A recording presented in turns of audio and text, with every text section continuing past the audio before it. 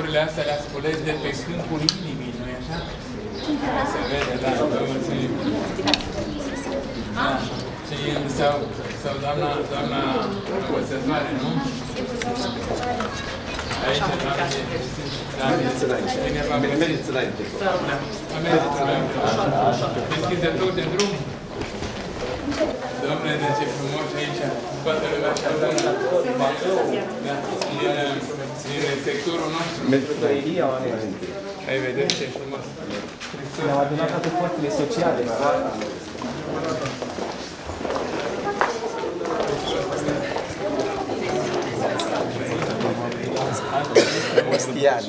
viagem, simulação. Não, não, não.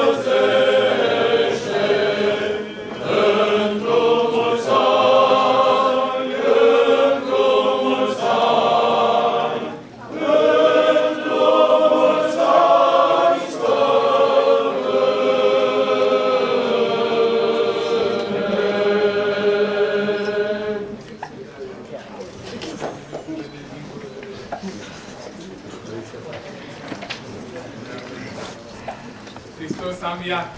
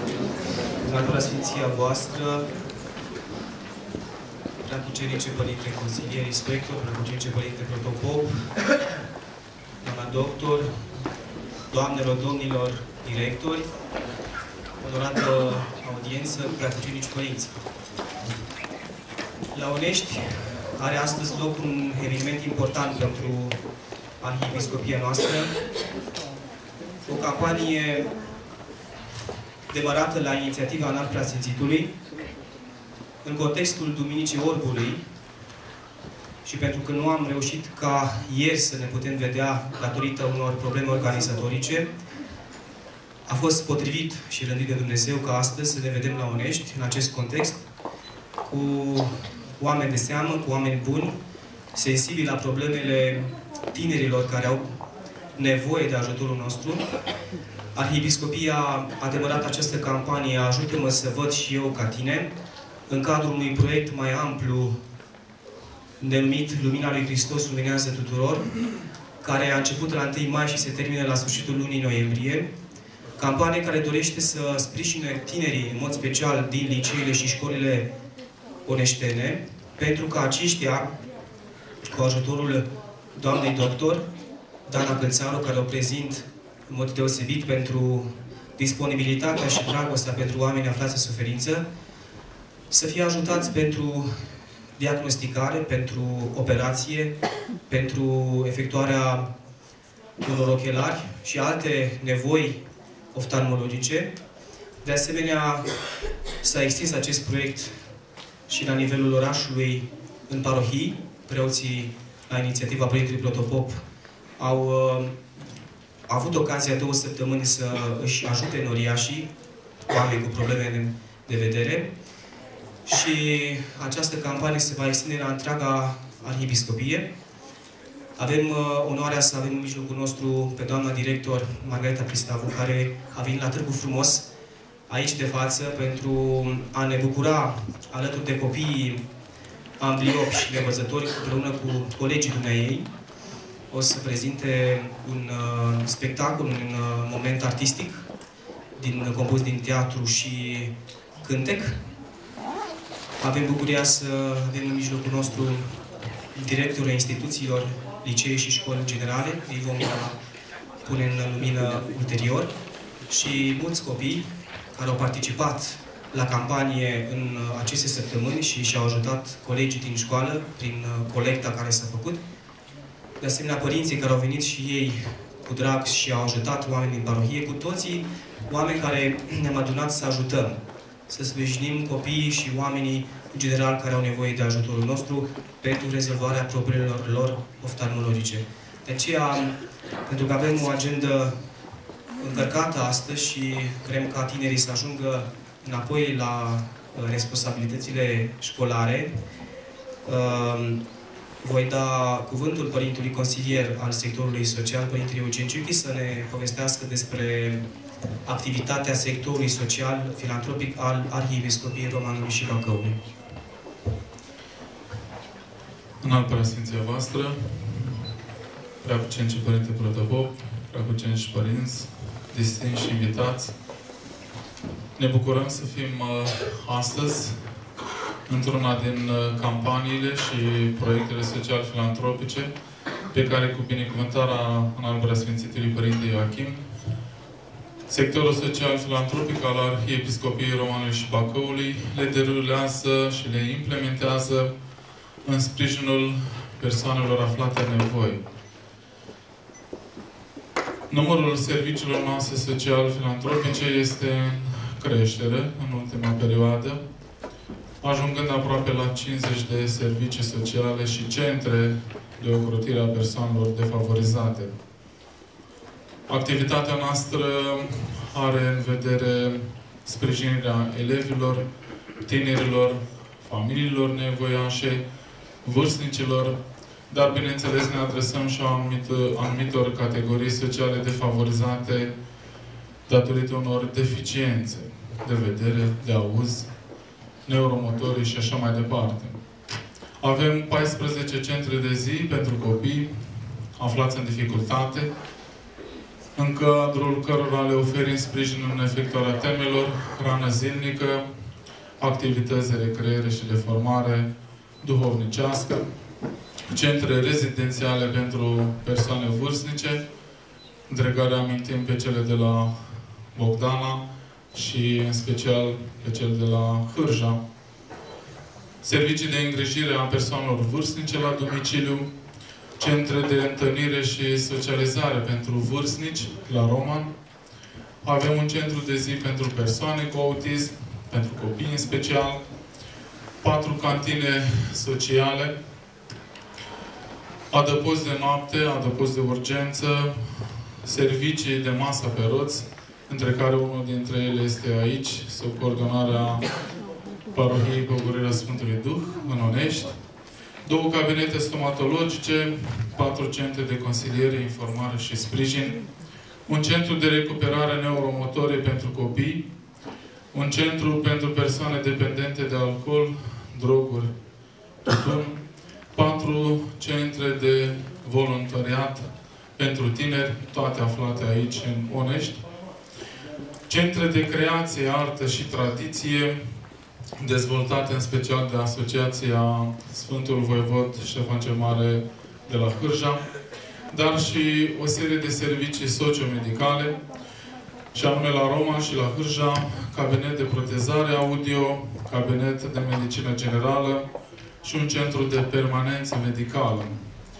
Dacă ar fi să scurtăm cuvântul nostru, dar să ne referim în special la proiectele pe care le-am implementat pentru a veni în sprijinul persoanelor aflate în dificultate și cu deficiențe de vedere, să spunem că în anul 2010 a fost implementat proiectul Hristos Lumina Lumii, prin intermediul căruia un număr de peste 500 de persoane din parohiile eparhiei Romanului și Bacăului au beneficiat de consultație și rețetă și ochelar gratuit prin intermediul acestui proiect, parohiile asigurând, făcând întâi selecția beneficiarilor, persoane care aveau nevoie de acest consult oftalmologic, au organizat și au susținut deplasarea acestora la Bacău, la un centru medical în care au primit uh, consultație la aparate profesioniste și, bineînțeles, în urma acestui proiect au uh, beneficiat și de perechea de ochelari. Dar, de asemenea, pe lângă această inițiativă amplă care va dura timp de șase luni prin intermediul acestui proiect, am uh, constatat că beneficiarea ai serviciilor noastre sociale au fost și dintre persoane nevăzătoare sau cu deficiențe de vedere. Au beneficiat de servicii de cantină socială la Roman și la Bacău, au uh, intrat în rândul celor care au trecut pragul centrelor noastre de zi. Au, uh, am avut și la Bacău, dintre persoanele cu autism, doi copii nevăzători pe care i-am uh, ajutat în recuperare. Am avut și la Centrul de Recuperare pentru persoane cu handicap neuromotor, persoane, patru persoane care încă și astăzi mai uh, beneficiază de serviciile noastre. Au beneficiat și de servicii de masa pe roți, hrană la domiciliu, masa bucuriei, ajutoare materiale și, în special, cele mai numeroase sunt ajutoarele financiare oferite pentru efectuarea de tratamente sau operații și așa mai departe. Ne dăjduim că, pe lângă celelalte categorii sociale defavorizate, sprijinite, iată, astăzi se pune un început bun cu binecuvântarea în al preasfințitului Părinte Ioachim și cu această deosebită contribuție și parteneriat la nivel de municipiul Onești, astfel încât nădăjduim să dezvoltăm aceste activități și colecte care se fac pentru persoanele nevăzătoare și pe raza municipiului Bacău, dar și în alte orașe din eparhia noastră și să găsim la fel persoane dornice de a se implica și de a veni în sprijinul acestora. Vă mulțumim. Sărutăm de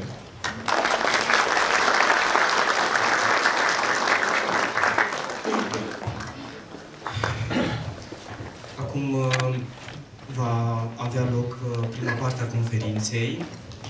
Conferință interesantă și este o, un lucru inedit, un lucru nou care îl facem uh, astăzi, un înalt preasfințitul uh, duhovnic și intelectual aparte al uh, țării noastre, alături de un doctor aparte, un medic duhovnicesc, un medic trupesc, s-au întâlnit aici ca să ne spună tuturor ce putem face pentru a nu orbi trupește și sufletește, ce putem face pentru a preveni obscuritatea și indiferentismul social.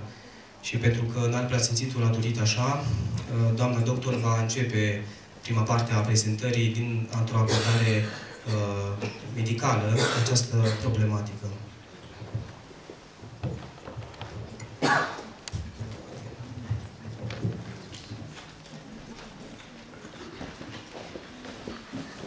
mulțumesc pentru ocazia de a fi uh, aici, în fața dumneavoastră, într-o așa o prezență deosebită. Și o să încep prin uh, cuvintele Părintelui Arsenie Papacioc.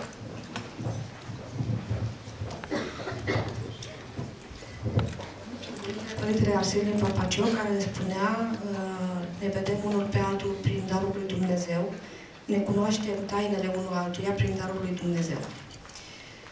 Și ce este vederea? Științific vorbind, vederea este unul dintre cele cinci simțuri cu care ne naștem, iar ochiul, ca primă componentă a analizatorului vizual, ne oferă generos 90% din totalul informațiilor recepționate din mediu. Fără îndoială, culoarea, chipul, zâmbetul, cunoașterea lumii și a omului se formează inițial pe retină, de unde senzațiile luminoase sunt conduse la creier, unde sunt analizate, comparate și stocate.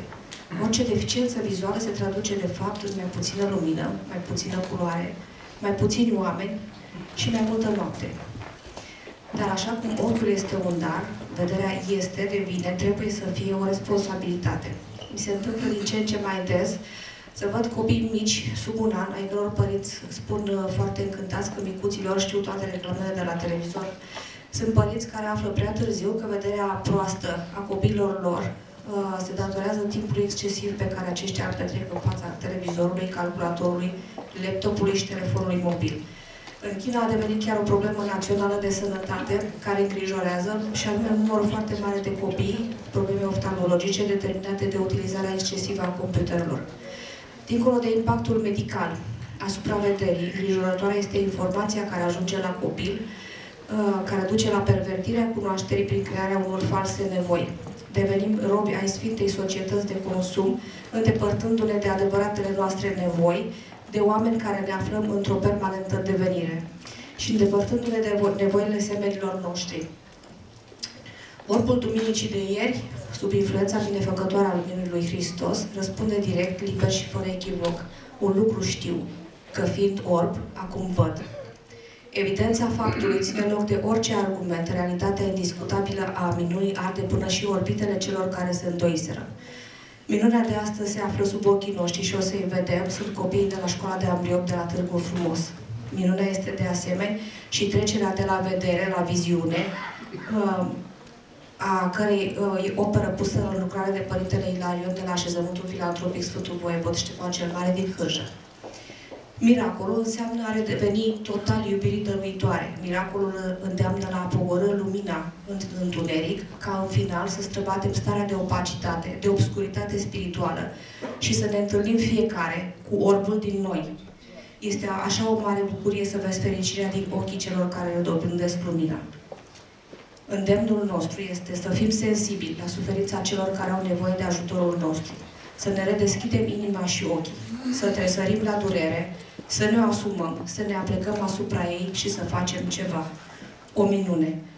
Și vreau să vă rog să vă aplecați într-adevăr la suferința celor din jurul vostru, Uh, ea există, chiar dacă noi nu o vedem, există, încercați să o găsiți și încercați să, să redeveniți um, ceea ce trebuie să fim, oameni între oameni. Nu trebuie să fii medic pentru asta. Trebuie doar să te apleci la durerea celor de, celor de lângă tine.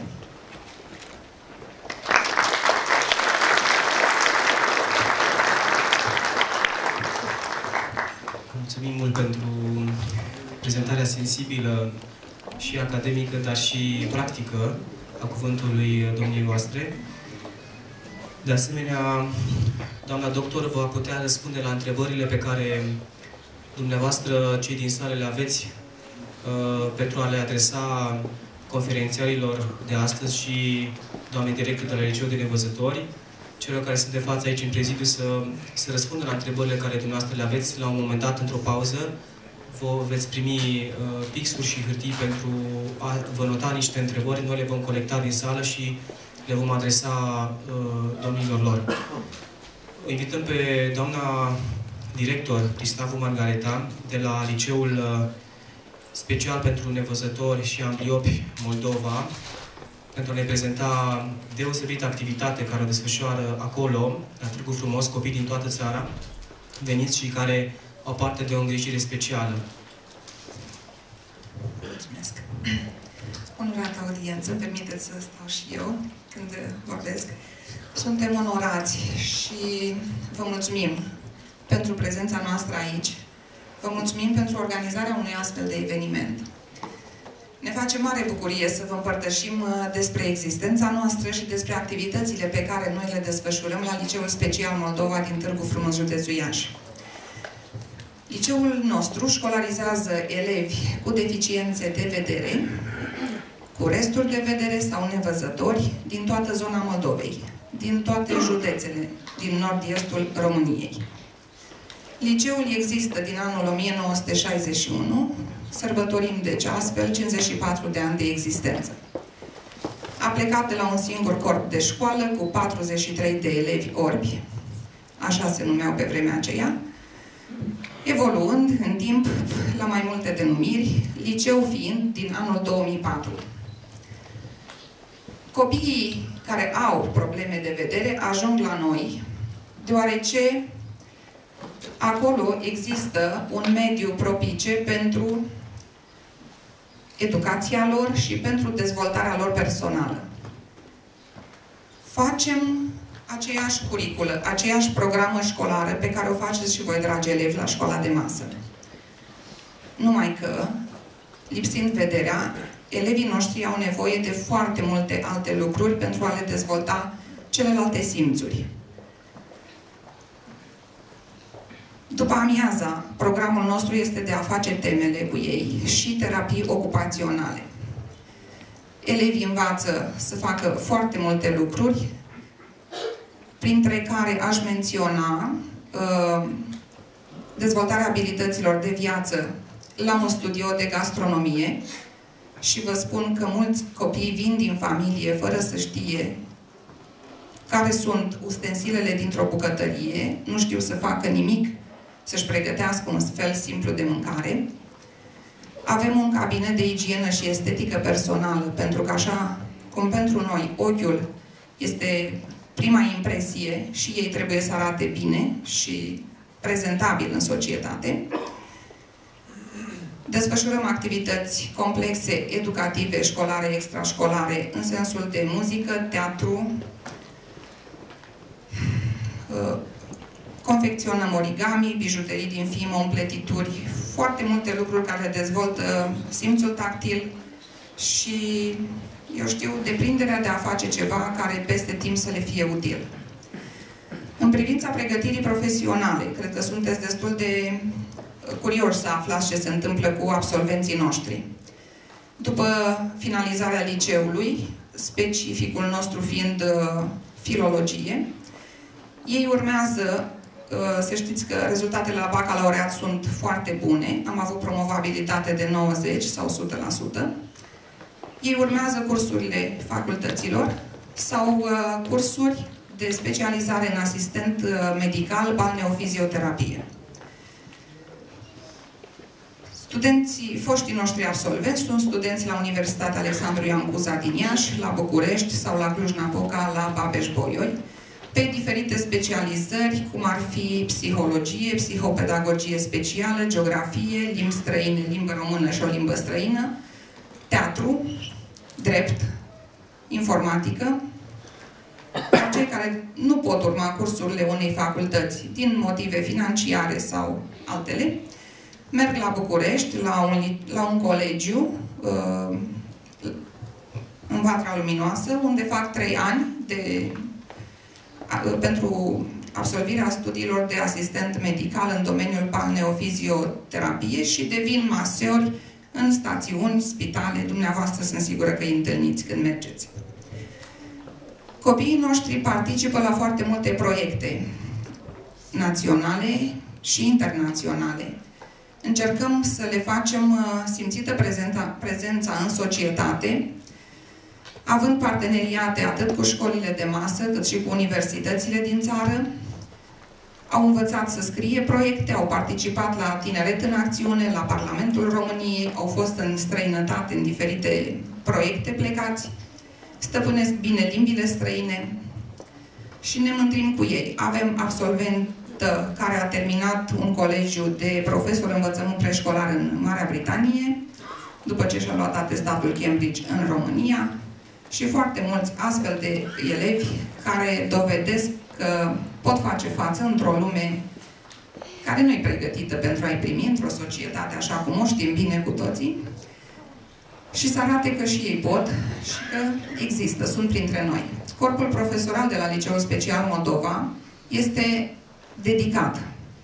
Acolo se lucrează cu mult suflet, cu multă afecțiune. Noi suplinim lipsa familiei, elevii noștri fiind interni, deci stau la internat, servesc masa la cantină și merg acasă în weekend sau la vacanțe, depinde de cum își permite familia să vină să ia. În vacanțele școlare merg toți acasă. Avem copii care vin din familii, familii normale, familii monoparentale sau din centre de plasament, adică acei copii nu au părinți. Nu știu ce aș putea să vă mai spun, deoarece activitatea noastră este foarte complexă. Avem foarte multă tehnică pentru nevăzători. Informatica este un lucru la îndemâna lor toate calculatoarele din școala noastră, și avem destule, sunt dotate cu voce sintetică pentru a-i ajuta să navigheze pe internet. Ei susțin competențele la TIC, la sfârșitul clasei a 12 -a. Avem imprimante braille, mașini de scris braille. Dacă nu sunteți familiarizați, ei, uh, cei care nu văd deloc, folosesc pentru exprimare scrisă uh, alfabetul braille, da, inventat lui Braille, un francez care a rămas nevăzător în urma unui accident. Avem foarte multe lucruri adaptate și pentru elevii ambliopi, adică pentru aceia care mai au un mic rez de vedere. Folosim monitoare pentru mărirea textului obișnuit, pentru contrastul culorilor, pentru că fiecare deficiență de vedere, și aici doamna doctor mă poate ajuta, Uh, este specifică în felul ei, fiecare copil vede într-un anumit fel sau mă rog, și atunci el își adaptează singur contrastul, vrea albastru pe galben, vrea negru pe alb sau cum este mai bine la citit. Uh, multe lucruri sunt făcute în relief, machete, corpuri geometrice, hărțile la geografie. Toate sunt adaptate și vă spun că este o investiție serioasă. Liceul nostru, trecând în uh, nu cu mult timp în urmă, printr-un proces uh, complet de renovare, reabilitare, modernizare, printr-un proiect european cu sprijinul Consiliului Județean Iași, de care aparține. Tocmai am încheiat un proiect finanțat uh, cu sprijinul Fundației Orange și am înființat o cameră de stimulare multisenzorială. Acolo este aparatură pentru stimularea vederii și a celorlalte simțuri tactile ale nevăzătorilor, Ehm, cameră a cărei dotare a fost aproximativ de un miliard de lei vechi. Avem specialiști care lucrează cu copiii și sperăm să vă putem avea în vizite la liceul nostru, pentru că ceea ce puteți vedea la locul uh, faptei, acolo, face mai mult decât o mie de cuvinte uh, ale mele. Vă mulțumesc și aștept întrebări. Mulțumesc!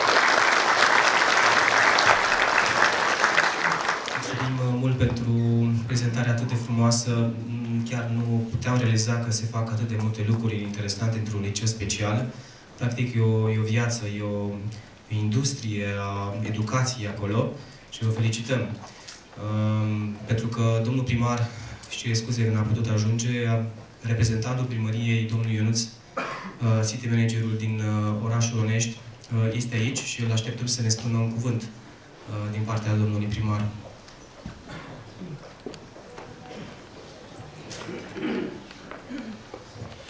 Bună ziua, Hristos a înviat! În primul rând, aș dori să felicit organizatorii pentru acest uh, eveniment impresionant. Uh, Astfel de acțiuni ne dorim ca și reprezentanții administrației locale să se întâmple uh, de fiecare dată, lună de lună. Dacă putem uh, cu toții de la mic la mare să punem umărul și să ajutăm uh, fie bătrânii, fie uh, copiii sau uh, persoanele care provin din familii defavorizate, eu cred că e un lucru bun și ar trebui cu toții să ne unim gândurile, uh, puterea și să ajutăm aceste persoane. În numele domnului primar Laurențiu Neghină doresc să vă felicit, să vă doresc mult succes și ori de câte ori va fi nevoie vom sprijini astfel de acțiuni. Mulțumesc! Mulțumim mult, domnul Ionuț, pentru prezentare și pentru cuvântul de apreciere a domnului primar. Urmează, evident, firesc, după doamna director, să invităm copiii, uh, copiii de, acest, de la acest liceu care au venit uh, cu mic, cu mare, să vă încânte cu uh, evenimentul acesta artistic și așteptăm pe toți să, să apară aici, să ascultăm, să-i, uh, să ne bucurăm de ei și la sfârșit o să uh, rugăm pe alături de să noi, ne ofere- trupa de teatru comedy. Ei ne vor interpreta uh, schița Five O'Clock.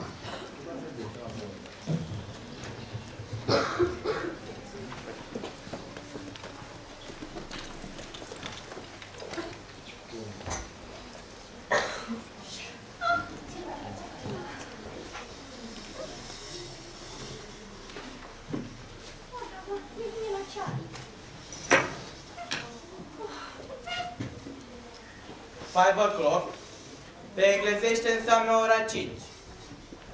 În lumea mare, fiecare damă își hotărăște o zi pe săptămână. Jour fix. Când primesc la orele 5 după amiaza vizite și facem musafirilor tratații cu ceai. De aceea se mai spune și five o'clock tea, adică pe românește ceaiul de la 5 ceasuri. În genere, damele din lumea mare publică chiar aici, în carnetul lui Claymore, spre știința numeroaselor lor cunoștințe, ziua lor de primire. De exemplu, citim. Independence Roman, Madame Esmeral Piscopesco, Five O'Clock Tea, tu le judi. Ca să vezi.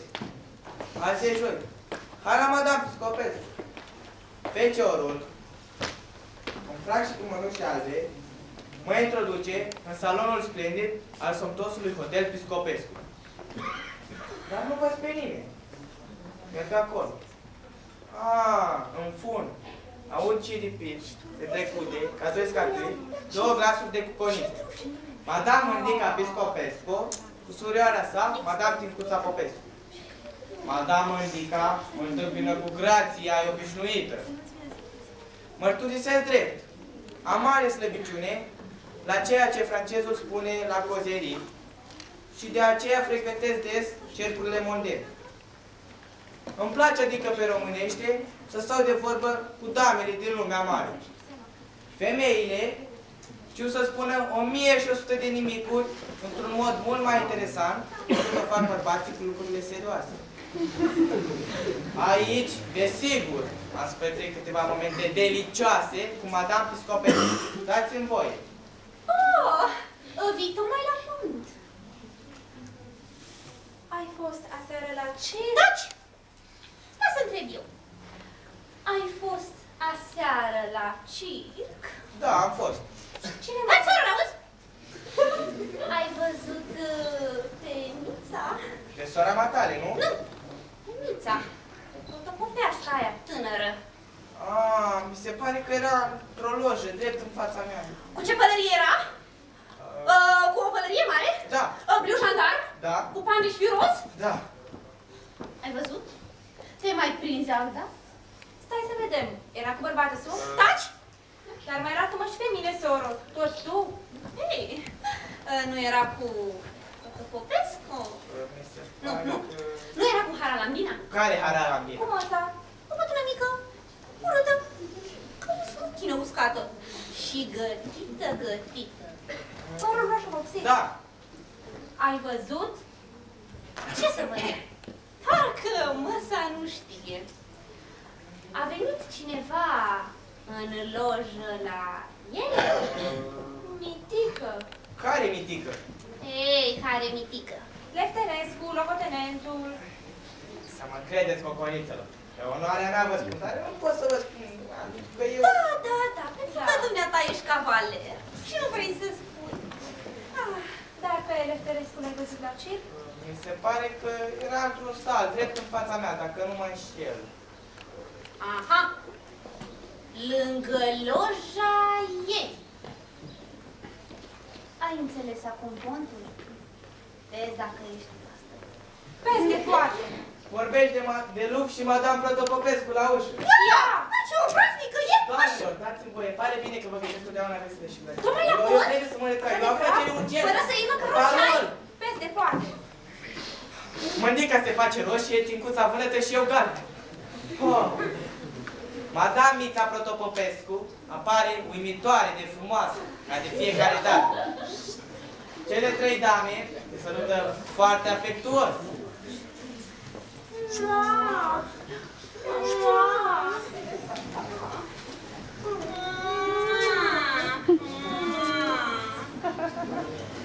Oh, e un ger afară, manșer, de nu-ți poți face o idee. Dacă mă ține așa toată noaptea, se duce dracului rapid. Nu, nu, crezi, am vorbit cu arendaj. Aș! Nu mi-a scris astăzi protopopescu anul meu. Ai taci! Hai să întreb eu. Ai fost aseară la Cir, Madame Protopopescu? Da. Taci! Singură? A, nu, cu mama. Cu mama? Bravo! Și eram multe lume la Cir? Oh, da, foarte multă. Ce strâși, dobitoace? Nu te-am chemat pe dumneavoastră. Treaba dumneavoastră e să stai la ușă. Unde e dobitoaca de roza? Ce face cu ceaiul? Oh. Și era cineva dintre cunoscuți? Mm, mai nimeni. um, Era Treasca, Georgeasca, Vasileasca, Constantineasca, Lucrătinencilă. Ce dracu faci cu ceaiul ăla? E gata, cuniță. Păi de ce nu spui odată? E gata în salon. Trebuia să spui. Nu pombăi obraznico!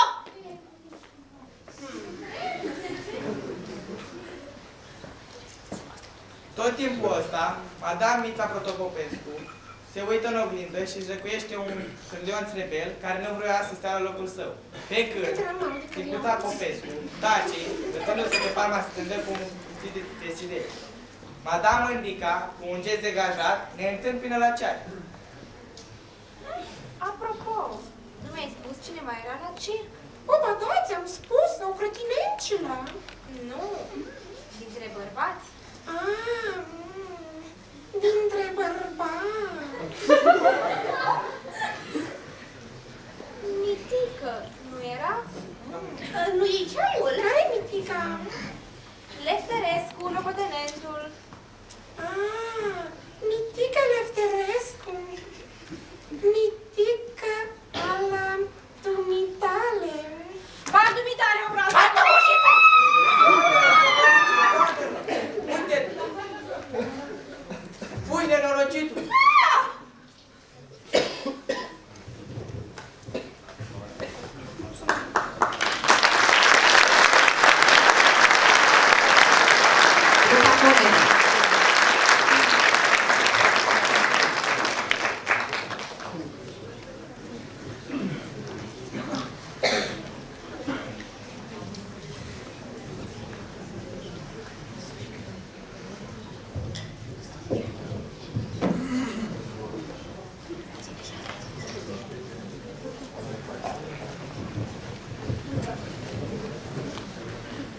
acum uh, am să o invit alături de mine din nou pe Livia.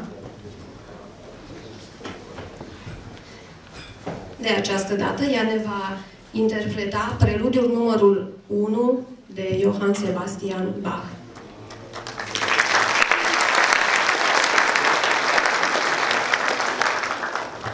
Trebuie să mai zic că Livia încă de la, din primul an de studiu a participat la concursuri naționale, județene, regionale de, de gen, de muzică clasică, unde, bineînțeles că a venit cu premii întâi și cu trofee. Să o ascultăm. Thank you.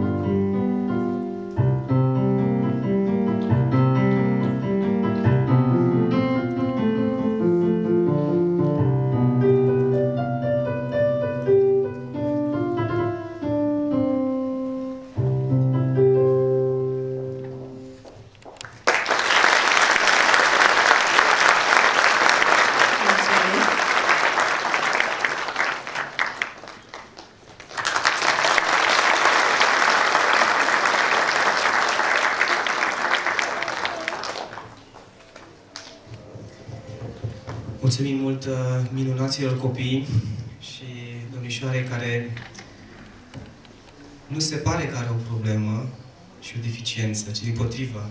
Parcă Dumnezeu a mulțit darul în uh, sufletul și în inima ei, uh, cum poate să interpreteze un copil atât de frumos la acest, la acest pian, cum nu fac poate copiii care au vedere fizică.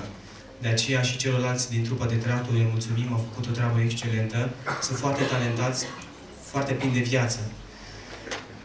Pentru că acești copii mai aveau multe de făcut astăzi, dar uh, am uh, agreat să, să ne oprim aici cu spectacolul uh, acesta artistic. Copiii mai aveau multe de arătat astăzi. Vom uh, invita pe înalt preasfințitul să le ofere copiilor câte un uh, mic dar, uh, câte un dar spiritual și niște dulciuri copiilor. O să îi rugăm să vină. Până când uh, vin copiii, o să rugăm pe Părintele Consilier să ofere cu un preasfințitul aceste daruri, sunt acolo. Și până când oferim, aș vrea să vă zic uh, modul în care am luat legătura cu doamna director. Nici nu m-am așteptat să găsesc înțelegere la acest liceu de prestigiu. Uh, știam despre, despre acesta din ceea ce mi-au povestit uh, uh, colaboratorii și din acest motiv uh, am avut o bucurie enormă că mi-a confirmat prezența lor. Doamna director se ocupă mult împreună cu cadrele didactice, nu e ușor să lucrez cu acești tineri. Sunt foarte talentați și foarte plini de, de viață. Din acest motiv, uh, din partea înalt preasfințitului primesc un dar uh, simbolic de la noi rugăciunea din partea bisericii și sprijinul pe care îl are fiecare dintre ei pentru a continua activitatea profesională și didactică. Urmează după acest moment să îl invităm pe înalt preasfințitul să binecuvinteze șase copii minunați.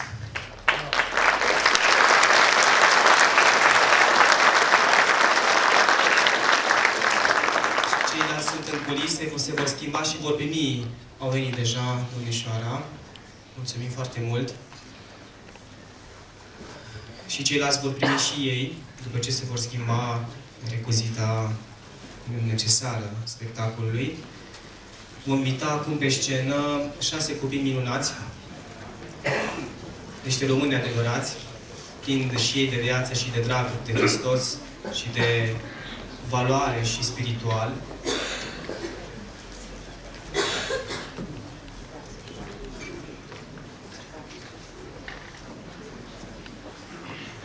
Legătura cu acest liceu va continua, pentru că ei, doamna director împreună cu cadre didactice și elevii, merg în toată țara și în afara țării, merg și vestesc un lucru simplu.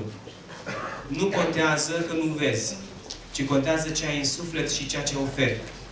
Și este o dovadă pentru noi toți că ei sunt la fel de buni și de pricepuți ca noi.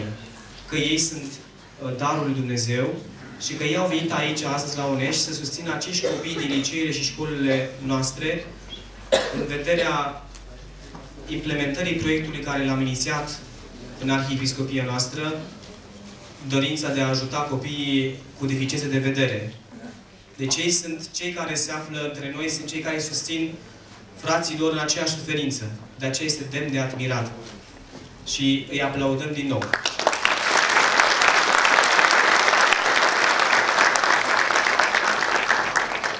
Acum, cu binecuvântarea în Arca Sfințitului, sunt șase copii minunați care vor recita un poem uh, deosebit, alcătuit de înalt preasfințitul.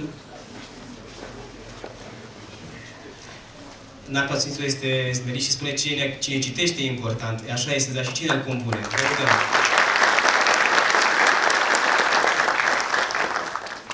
Paligeneza orbului din naștere, de arhiepiscop Ioachim Giosanu. Iisus Mântuitorul, venit pe pământ ca rob, a trecut printr-o cetate și a întâlnit un orb, sobru, înțelept, sărmanul, deși orb din naștere, a simțit lumina și a doua facere. Apostolii, văzând orbul, întreabă nedumeriți, Cine a păcătuit, Doamne, el sau ai lui părinți? Nici acesta, nici părinții nu sunt cauza orbirii, ci ca voi să înțelegeți mărime, mărirea Dumnezeirii. Dumnezeu vrut să arate în lume lucrarea Lui, iar Isus, lumina lumii, dă lumina orbului și, spunând aceste vorbe, în țărân a scuipat, iar din tine rezultată cei doi ochi a modelat. Mergi îndată la Siloe, te spală pe față mult și, plecând la scăldătoare, s-a spălat și a văzut. Apoi, după vindecare, orbul, devenind normal, toți vecinii se uimiră de acest fapt ireal. Unii socoteau că-i dânsul, alții îl negau mereu. Însă, orbul din născare nu e altul, ci sunt eu. Cei mai curioși întreabă, cine e acest triverb? Că din veac nu se cunoaște să se vindece un orb. Și s-au hotărât cu toții să-l ducă la farisei, ca să cerceteze cazul și ca să decidă ei. Așadar, ajunși la templu, bătrânii l-au întrebat, Ce ți-a făcut omul acela de zici că te-a vindecat? Din salivă și țărână, omul a făcut plămadă, Cu iubire mi-a uns fața cu acea sfântă pomadă. M-a trimis la scădătoare să spăl fața de noroi și, spălându-mă, deodată, văd cu ochii, ca și voi. O, tu nici nu știi, sărmane, omul acela e păcătos. Nu ți ziua odihnei, deci nu poate fi Hristos. Cum poate un făr de lege să facă astfel de fapte? Este un proroc acesta, strigă orbul pe cât poate. Și, cum ei se divizară, mai mari sinedriului au trimis ca să aducă de față părinții lui. Cum ajung în adunare, unul din bătrâni întrebă, este acest fiul vostru și născut fără să vadă?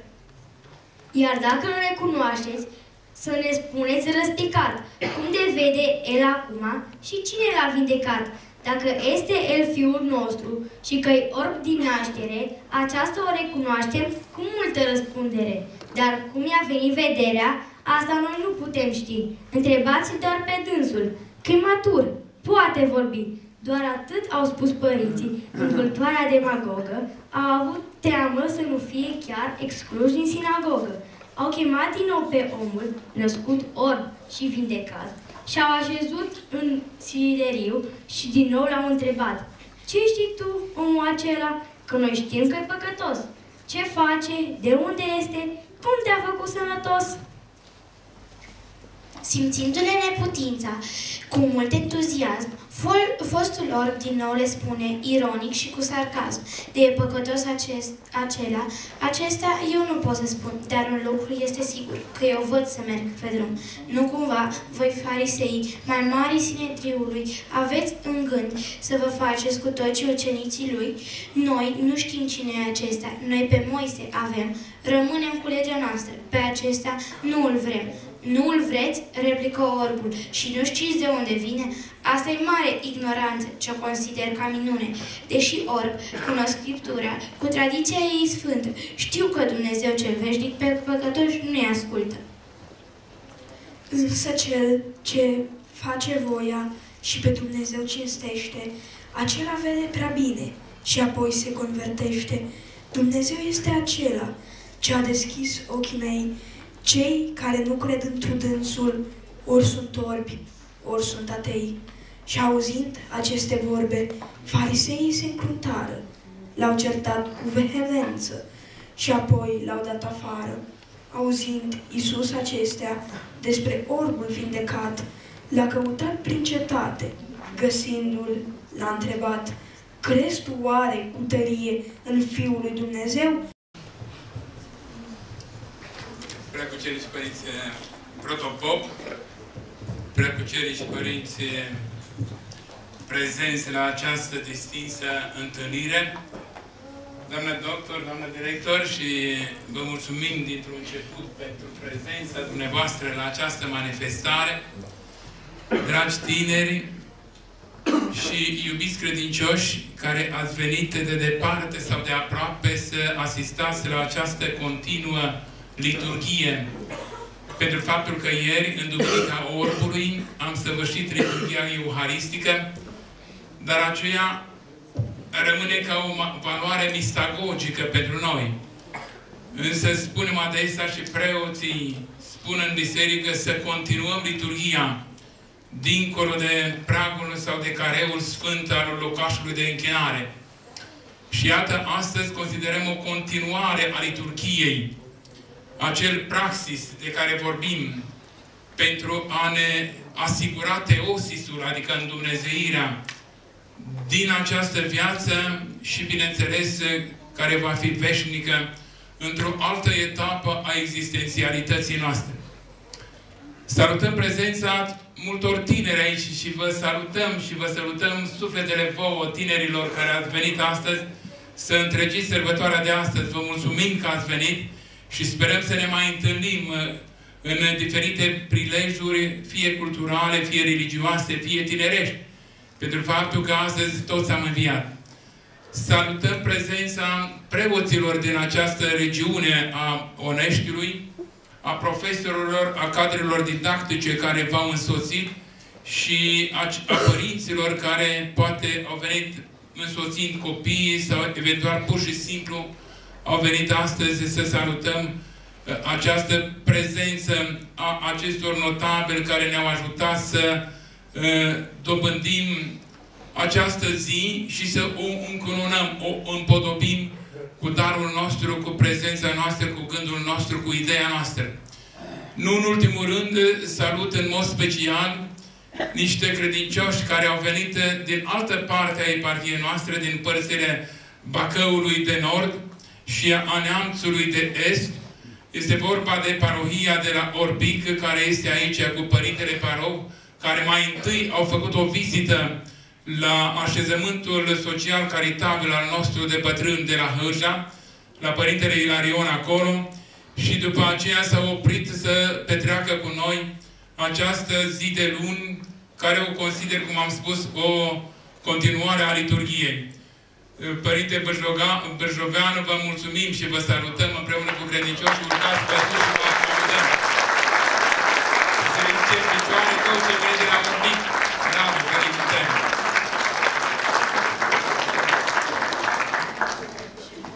Deci, dragii mei, eu nu aș vrea să lungesc prea mult cuvântul, dar în orice caz, începutul cuvântului meu l-a făcut doamna doctor, care a vorbit așa de frumos, aproape ca un preot în fața altarului, despre ceea ce însemnează nevedere. După aceea, după acești, după aceea, acești copii minunați, educați și frumoși din părțile Oneștiului de aici, care împreună cu directorul școlii și cu profesorul de religie, iată, au învățat și ne-au făcut această surpriză, recitând Evanghelia care vroiam să o citesc eu altfel astăzi, cea pe care ne-o prezintă Evanghelia, așa cum a fost scrisă dintr-un început de Sfântul Evanghelist Ioan. Dar, bineînțeles, am mai armonizat-o eu, dar au pus-o ei în uh, vorbe, și totodată au pus-o în viață, dându-i viață parcă Evangheliei într-un mod altfel și felicităm pentru maniera cum au deschis Evanghelia în versul copii.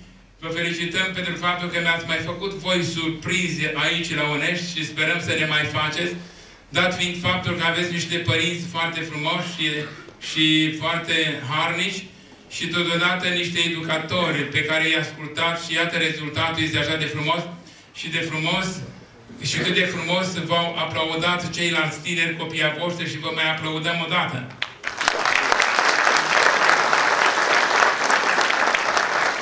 Mai ales că aici fiecare tânăr și văd tinerii aceștia entuziați, sunt foarte mulți și trebuie să vă considerați, dragii mei, urmașii lui Ștefan cel Mare.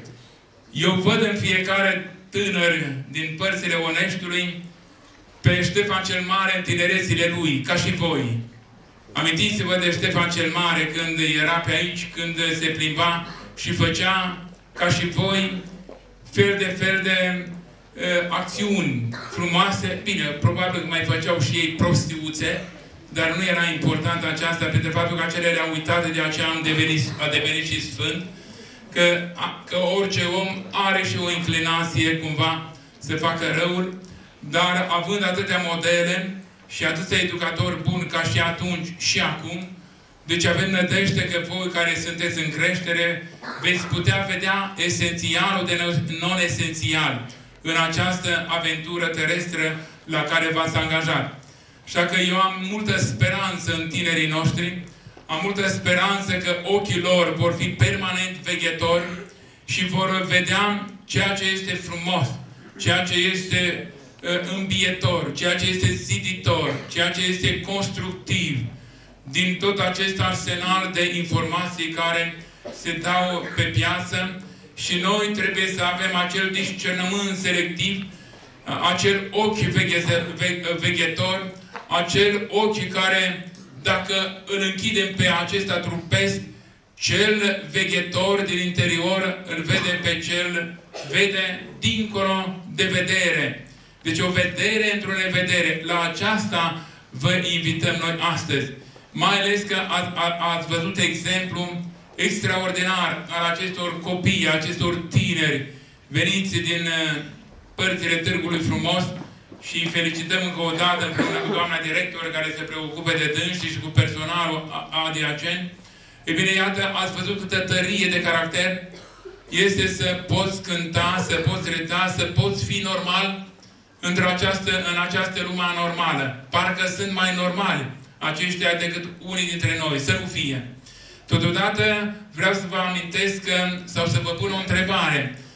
Până mai anii trecuți, știți voi, care a fost cel mai mare psiholog al României? Păi a fost un orb, Părintele Teofil Părâian. Și interesant că acel om avea o dragoste debordantă pentru mai toți oamenii. Și pentru dragostea lui și el, care își manifest dragostea față de ucenicii săi, răspundea aproape la toate invitațiile. Și interesant, curios, că într-o zi niște prieteni parcă au ignorat că bătrânul lor duhovnic este orb. Și l-au invitat la o, conferi la o conferință mai întâi, evident, și după aceea la, la o expoziție de tablouri, la o pinacotecă. Și imaginați orbul la pinacotecă. Imaginați-vă orbul în fața tabloului. Ce poate să fac? Și atunci niște jurnaliști l-au întrebat. Părinte Dan, mata nu vezi cum ai venit aici, na? Și că eu nu văd, într-adevăr. Îmi imaginez ce este un tablou. Dar pentru dragostea prietenilor mei care m-au invitat, atunci nu le-am refuzat dragostea și am venit. Pentru faptul că dacă ai dragoste, vezi totul, vezi dincolo de ceea ce este opac, căci dincolo pătrunzi de acum cu credința și Dumnezeu probabil că are o percepție, orbi o percepție aparte pentru faptul că Dumnezeu le dăruiește anumite imagini și pot să-și dea seama de realitatea care îi înconjoară. E bine, asta preiam astăzi să vă spun. De altfel, aș fi trebuit să preiau din nou Evanghelia care s-a citit ieri în biserică, unde a fost tocmai această minune cu orbul. Orbul respectiv era foarte înțelept. Așa cum au spus și copiii, a, la, la un moment dat, văzând că ceilalți care de fapt erau orbi, nu put, n-au putut să vadă esențialul. Și de aceea a devenit și ironic acel orb înțelept, chiar a, a vorbit cu oarecare sarcasm, cum a spus, pentru faptul că ei nu au înțeles, n-au înțeles, înțeles că, de fapt, trebuie să vadă altceva, altă lumină, sau lucrurile trebuia să le vadă în lumină, căci lucrurile, dacă nu le vezi în lumină, atunci ești tu orb. Și de aceea, Evanghelia de ieri are o rezonanță sau se pune în paralel cu ceea ce a spus Hristos cam la începutul activității sale publice. Și aceasta o spune Hristos în Evanghelie și despre acest lucru ar vrea să vă vorbesc mai mult astfel, pentru faptul că Doamna a vorbit de uh, orbirea trupească, că dacă lipsește organul, lipsește și funcția lui, nu? Deci dacă lipsesc ochii, atunci evident că lipsește și funcția. Dar dacă ai ochi, nu înseamnă că, ve că vezi totul. A eflorat deja, doamna doctor, o idee acolo în care spunea că ochiul trimite imaginea minții, nu-i așa? Ei bine, nu e suficient doar până la minte. Să vedem ce merge mai departe. Și aceasta o spune Hristos, care în capitolul al șaselea din Evanghelia Matei se spune așa, luminătorul trupului este ochiul. De va fi ochiul tău curat, tot trupul tău va fi luminat. Iar de va fi ochiul tău rău, tot trupul tău va fi întunecat. Deci dacă lumina care e în tine este întuneric, dar în întunericul cu atât mai mult. Bun. Hai să vedem ce vrea să spună acest cuvânt care este foarte concentrat. Deci luminatorul trupului este ochiul. Doamne doctor, vă întreb, ce este de fapt un ochi? Dacă nu greșesc, după părerea mea, este cel mai performant aparat fotografic, nu? Bun. Deci, iată, mă confirmă. Deci, voi mai ales acum, cred că fiecare aveți între voi un aparat de fotografie, mai ales acum numeric. Aveți fiecare un telefon, nu? Se ridice toată lumea telefonul sus. Ne vedeți? Acum am făcut și eu, dar le-ați oprit pe toate, nu? Bravo, felicitări, înseamnă că le respectăm reciproc. Și atunci, deci cu un telefon, ce faceți? Ați mai ales că ați trecut prin anumite peisaje care v-au plăcut și le-ați imortalizat. E bine, asta face ochiul. Ochiul este un aparat fotografic care, iată, ne face să vedem în afară ceea ce se întâmplă dincolo de spațiul trupului nostru. Și deci ochiul este cel care fixează pe pelicula lui ce este frumos. Adică e frumos sau eventual negru. Pentru faptul depinde cum evaluezi ulterior imaginea respectivă. Deci mai întâi aparatul ia, fotografiezi un copac, un om, imaginea unui prieten sau știu eu, oricare imagine. Aceasta face ochiul.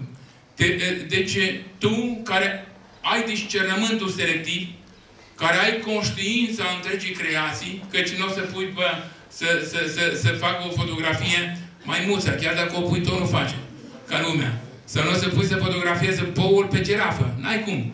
Deci tot omul trebuie să fotografieze și girafa și boul. Și atunci, deci omul are conștiința întregii creații. Și atunci, pentru faptul că mi-a dat Dumnezeu dintr-un început acest aparat, eu am contact cu exteriorul meu, care de fapt trebuie să fie în lumină. Și atunci, dacă eu, cu ochiul acesta, care mi l-a dat Dumnezeu, cu aparatul acesta, iau imaginea din, inter- din exterior și după aceea doar nu rămâne în aparat. Și froi, frățiile voastre, spre exemplu, după ce ați luat o, o imagine, nu o branșați cumva la calculator și nu uh, faceți cumva un document special, le compactați frumos și le puneți într-o parte a calculatorului ca să aveți permanent acea imagine, unele păstrându-le, mai ales că vă sfătuiesc să aveți totdeauna imagini frumoase care constituie un fel de paradis, un fel de rai al vostru propriu, căci, cum spune un proverb mai târziu, a, a, paradisul nu este decât amintire, iar amintirile plăcute nu sunt altceva decât paradisul din care nu te poate izgoni nimeni ulterior. Și deci vă sfătuiesc să ave, aveți amintiri plăcute. Și deci, acest ochi a luat în afară imaginea.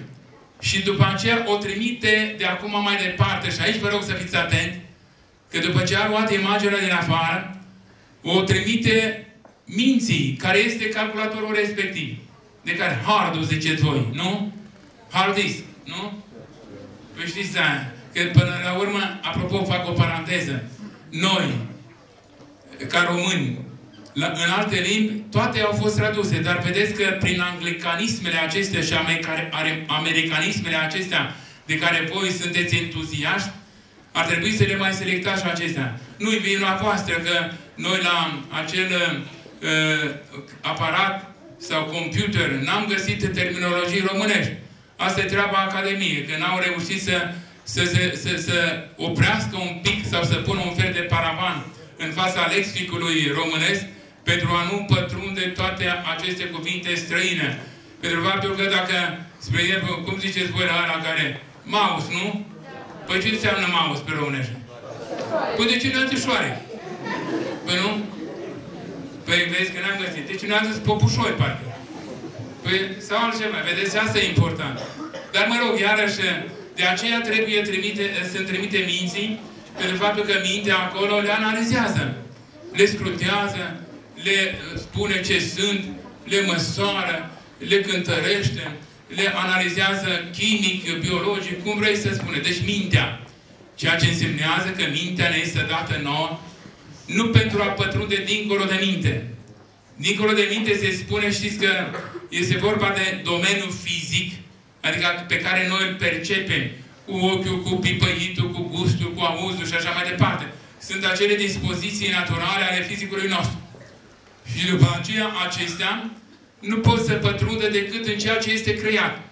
Ceea ce se vede, sau chiar dacă nu se vede, chiar și în materie. Știți voi că marea majoritate sunteți și fizicie, nu faceți fizică la școală, nu? E bine, și atunci la fizică învățați cum să pătrunde în abisul insondabil al materiei. nu așa? Și atunci faceți experiențe chimice, puneți una și alta, faceți tot felul de experiențe și atunci, evident, toate acestea sunt uh, analizate și puse în definiții de către această minte a noastră, inteligență, care ne este dată tocmai pentru aceasta, pentru a analiza imaginele care intră din afara trupului nostru. Intră pe urechi, intră pe uh, nas sau prin pipăiți sau prin ochi, cum am spus. Deci mintea este cea care face o analiză, este computer hardul acesta general, care le aduna și le analizează pe toate. Deci ceea ce intră prin ochi, deci intră în minte. Și deci aveți grijă ce, unde, unde vă uitați, că mintea asta se uitați prea multă de treabă. Pentru faptul că această minte trebuie să fie permanent luminată și trebuie să fie tot aici la Scriptura care am citit-o mai înainte, spune Hristos acolo într-un context, dacă tu postești, unge capul tău și fața ta o spală. Asta că s-a spus înainte de post. Adică ce înseamnă unge capul tău? Capul tău, bineînțeles că voi, care mai ales sunteți domnișoare frumoase, vă ungeți capul înainte de a pleca la școală cu uh, parfum de la grozav, Chanel, Christian Dior, nu așa? Aveți? Da. Și după aceea, după aceea, fața ta o spală. Bineînțeles că te sper cu cel mai frumos uh, parfum, uh, săpun, șampun și așa mai departe. Ei, nu. Acolo trebuie o interpretare și vreau să vă spun și fac paranteză pentru faptul că sunteți atenți. Deci când, când Hristos zice ungeți capul tău, înseamnă că, hai să spun tot așa mai în argou, scoateți gărgăune din cap și pune Evanghelia. Deci ceea ce însemnează, adică pune ce a învățat Hristos. Și El ne-a învățat numai frumos. De aceea trebuie să, să faceți religia în școală, pentru faptul că învățați tocmai ce trebuie. Pentru faptul că dacă faceți un conglomerat din toate, nu mai învățați nimic. Și deci mai întâi esențialul. Numai ce este frumos. Numai ce este, ce este ziditor, cum spuneam. Și deci această minte, ca să nu plictisem mai mult, poate că aștept de acum, se pare că Părintele Ilarion ne-a lăsat și un timp de dialog, căci mi-am place dialogul, nu monologul, și Hristos a venit să dialogueze cu noi și primul dialog care l-a făcut, a făcut lumea. Lumea este dialogul între Dumnezeu și noi. Și de aceea că trebuie ca să dialogăm permanent, să fim în dialog. De aceea omul este ființă dialogal, cuvântul care zidește și cuvântul care pătrunde și care schimbă idei și așa mai departe, ca ființe între persoane și ființe conștiente. Și deci iată că mintea le primește. Dar după aceea, ca să înțelegem acesta, acest verset ce spune Hristos aici, dacă ochiul tău este rău sau este, cura, este murdar, tot trupul tău este întunecat. Deci, în trupul tău, ce este central? Este inima. Inima care din punct de vedere medical, doamnă doctor, nu știu ce este. Este un conglomerat de carne, acolo nu știu ce.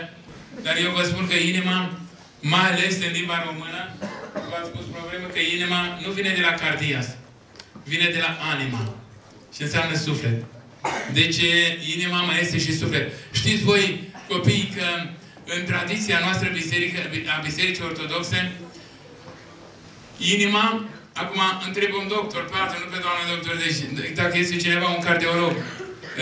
Când se creează omul în pântecele Maicii, știți după câte zile în fătul uman se, se creează inima? 40 de zile, nu? Da, deci după 40 de zile. Cum de altfel, în sânge, vitamina K, știți că apare la 8 zile. Pentru faptul că era o tradiție în legea veche, că se tăia un prejur și tăierea prejur se făcea la 8 zile. De ce? Atunci apare vitamina K care coagulează sângele. Până atunci, dacă tai, sângele curge permanent. Și deci inima apare mai târziu. Dar și putrezește mai târziu. La 40 de zile putrezește inima după ce înmormântezi omul. De aceea noi facem pomenire la 40 de zile. Noi așa, părinte? Dacă părinte Protopop cu experiență mai multă. De aceea noi nu facem nimic întâmplător în biserică. Totul are, are o, o, o, o foarte frumoasă asociere cu biologia. Deci toate științele, vedeți că trec prin teologie. Nu cumva să scoateți teologia din școală, că e vai, vai și amar de noi, că de fapt că nu putem face orice știință fără, te, fără trecând-o prin teologie. Dar nu facem prea multe uh, derogări de la tema care ne, ne, ne, ne, ne, ne, ne, ne preocupă asta. Și deci, cam la 40 de zile, cam atunci putrezește inima pentru faptul că principiul de entropie, adică de, de, de descompunere, nu prea a fost abolit de Hristos. Și deci, acolo în, în inima ta, acolo este locul evaluării tuturor obiectelor, tuturor lucrurilor, tuturor fenomenelor, tuturor stărilor care intră prin, în noi, prin ochi. Dacă în tine este întuneric, dacă le-a aruncat pe Hristos din tine, atunci acolo este întuneric. Ia eu vă întreb iarăși, dacă voi, o de mare majoritate, sunteți îmbrăcați în alb, frumos. Dacă aici, cum nu este nicio fereastră, să stinge toate luminile, ne mai putem vedea? Nu. Și totuși existăm în întuneric. Deci iată că nu ne putem defini în întuneric. O mireasă, chiar dacă, dacă o bagi într-un beci, cât de albă este îmbrăcată, tot nu vezi. Poate o vezi așa ca fantomă, dar nu cred. Și atunci, atunci trebuie să știți că în întuneric nu ne putem defini, dragii mei. Și atunci ce trebuie să facem? Trebuie să aprindem o lumină. Păi cine e lumina? Eu sunt lumina lumii, zice Hristos. Pune pe Hristos acolo, în, înăuntru cel din, în, în inima ta. Și atunci, la lumina lui Hristos, o să cam vezi și pe celălalt care este în camera respectivă, dar o să vezi și praful care este pe acolo. Voi puteți șterge praful care este într-o cămară fără să aveți lumină? Nu prea.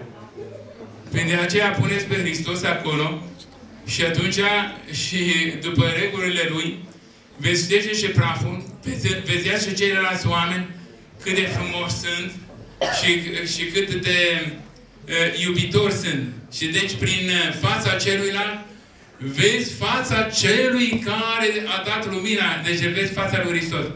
Deci dacă, în, în, în, dacă Hristos este în inima ta, atunci e evident că totul se luminează. Pentru faptul că totul se luminează, adică lumina din interior pătrunde în afară și din, din afară pătrunde în interior și tot ceea ce pui în lumină, vezi în lumina lui Hristos și atunci și toate lucrurile alea care intră prin ochi, atunci nu sunt văzute decât în lumină și în fiecare lucru vreți prezența lui Hristos.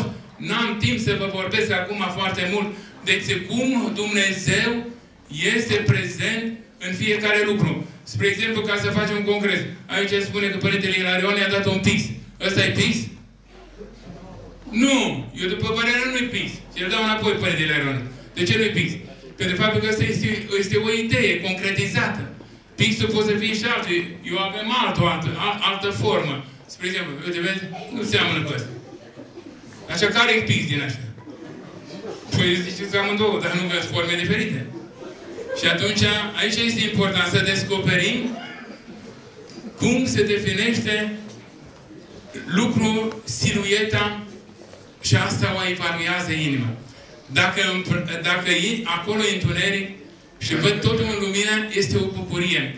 Și atunci, inima, dacă, cum spune Hristos aici, acolo în interiorul tău, este lumină, toate le evaluezi pozitiv.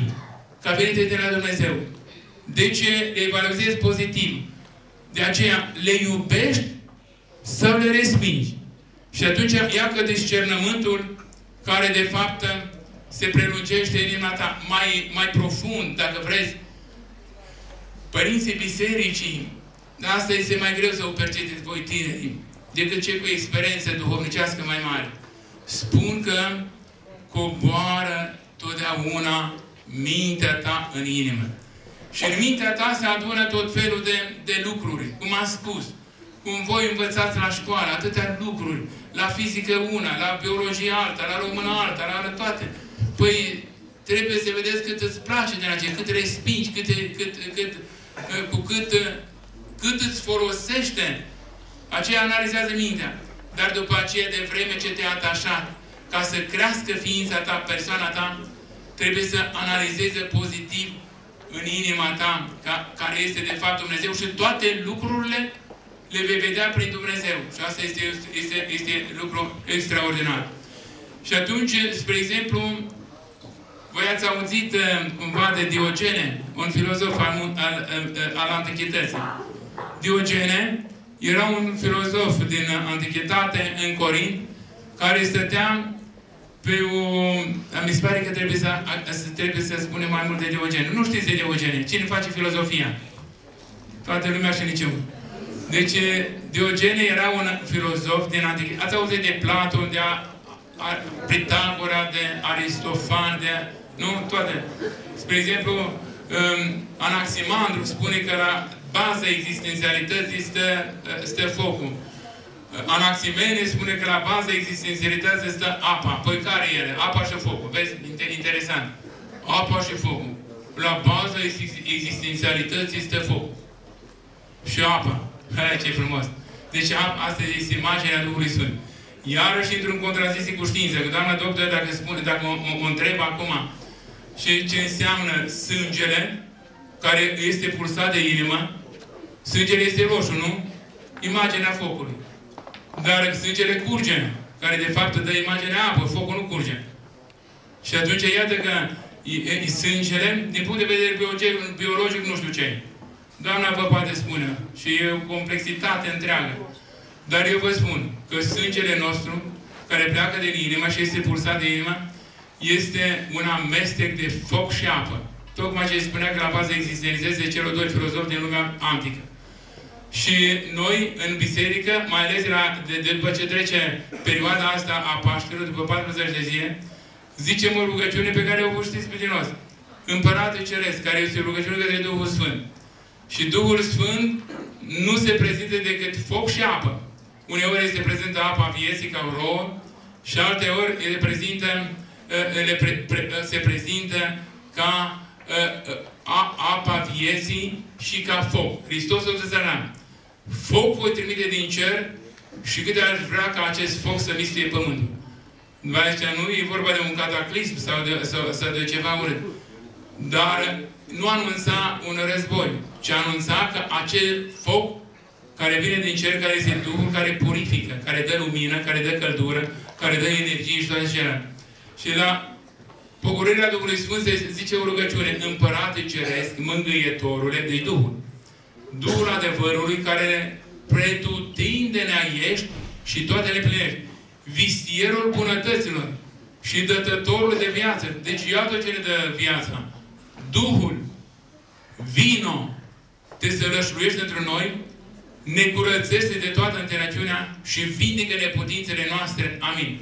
Aici este o teologie, o complexitate în inima, în imnul acesta care e valoare de Evanghelie ca și Tatăl nostru. Este extraordinar. Vino, sărășluiește-te între noi, curățește-ne, dă-ne lumină, dă-ne putere, ține-ne în comun și așa mai departe. Deci ca să nu pierdem firul. Deci iată că îl vedem pe acest Duh ca foc și apă. Sângele e, e, e, pulsată de inimă aduce viață, dar dacă stă inima Cine mai pulsează sângele? Nu mai merge. Și atunci, iată că nu mai intervine moartea biologică. Și deci, noi nu putem fără Duhul. Dacă nu te respiri, nu poți să mergi. Nu mai poți mișca. Și deci, ca să pătrundem în abisul insondabil al lucrurilor, cum am spus cu pixul, păi asta este o idee. Dar pixul presupune a fi făcut dintr-o materie. Dar materia nu există. Pentru faptul că dacă voi la microscop pătrundeți în ambisul insondabil a unui pahar, a unui... Totul este mișcare. Știți că stânca care nu se mișcă niciodată, mișcă.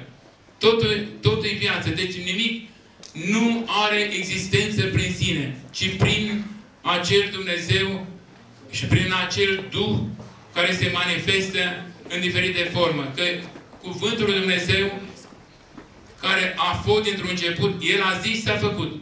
Și de aceea omul are conștiința tuturor lucrurilor. Bine, e mai complicat, dar să revenim totuși la acest ochi, pentru faptul că ochiul și acesta și cel interior nu poate să vadă dacă nu are pe Hristos să lumineze totul care intră în noi, prin noi.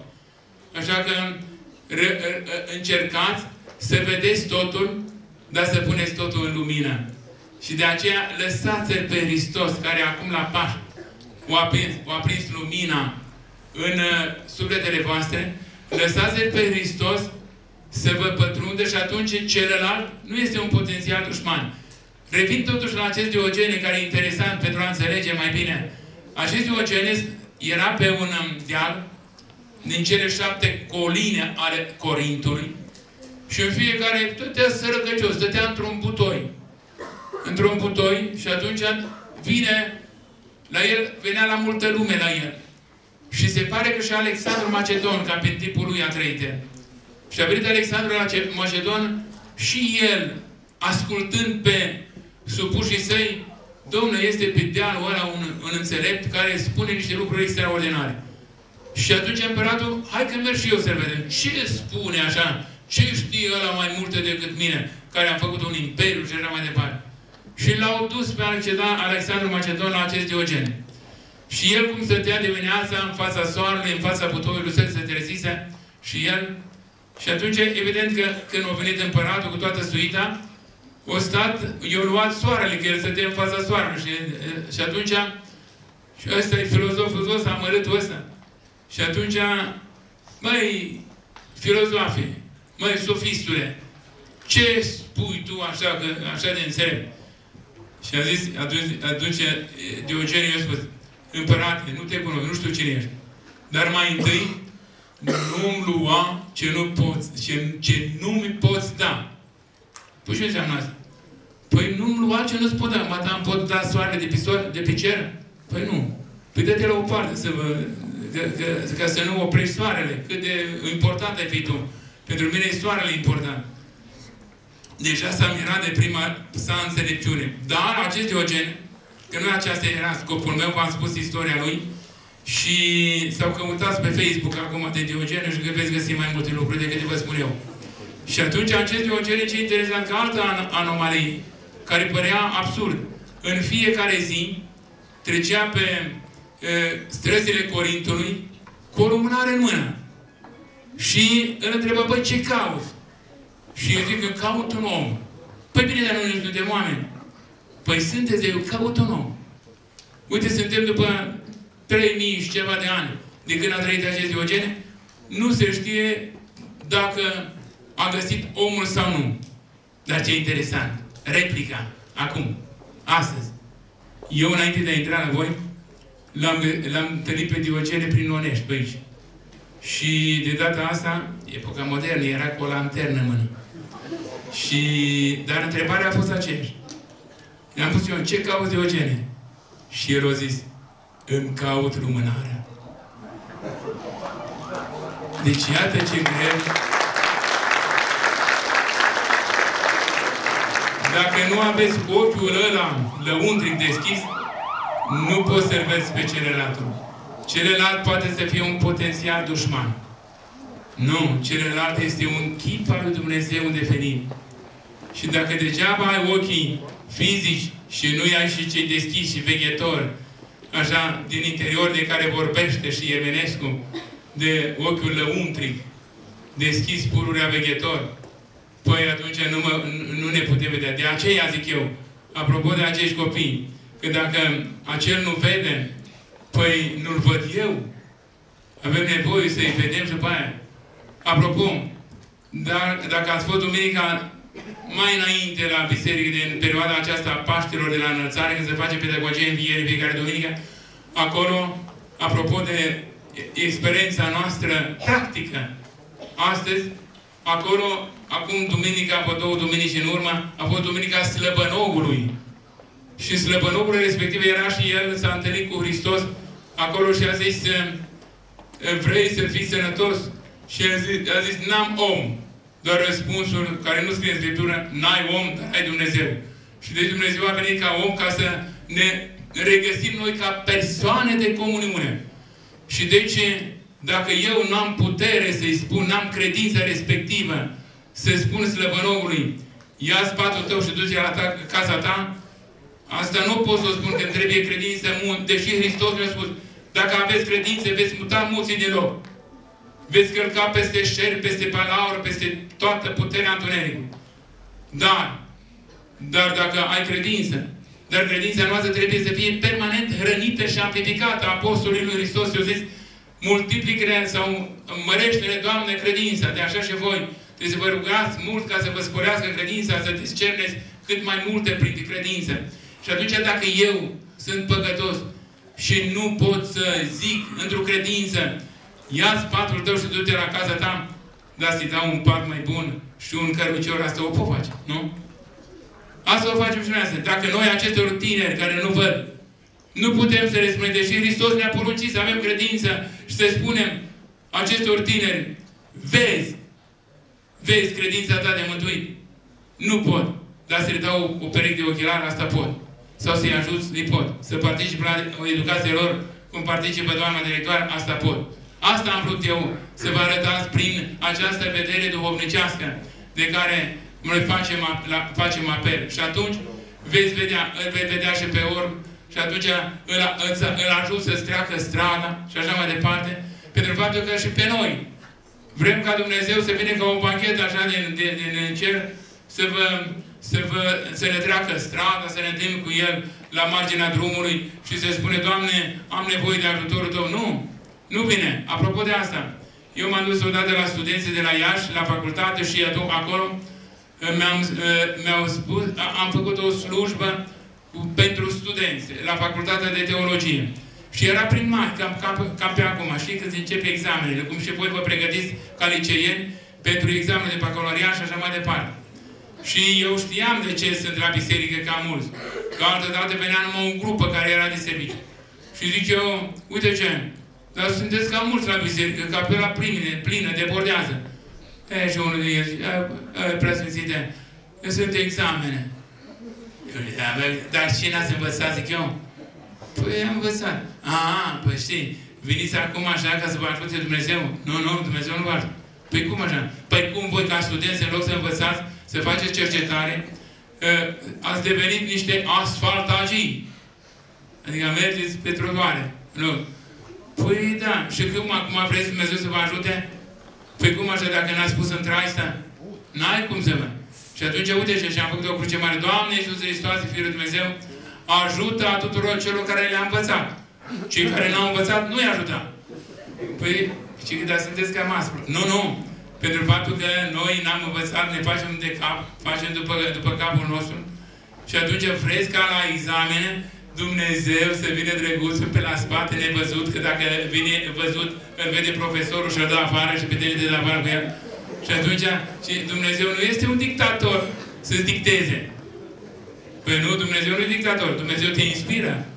Și atunci dacă tu ai muncit, ți-ai adunat multe și ai adunat în computerul acesta, atunci bineînțeles că la un timp, e bine, vine Dumnezeu un tip examen. În momentul când ți-a dat tema la examen, profesorul, totul se iluminează. Pentru faptul că, spre exemplu, noi în, în românește zicem la computer, la computer, na, ce zice?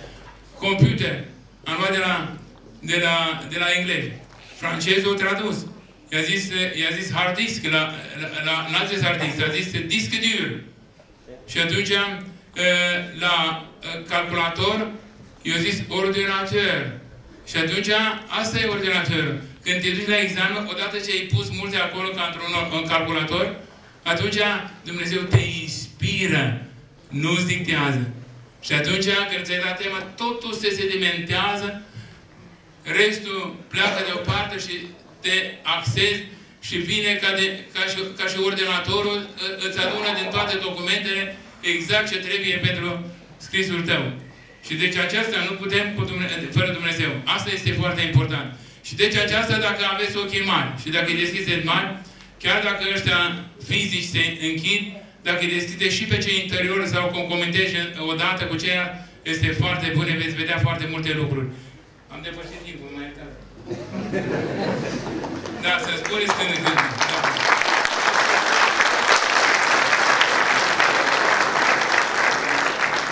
Da, Hristos a înviat totul.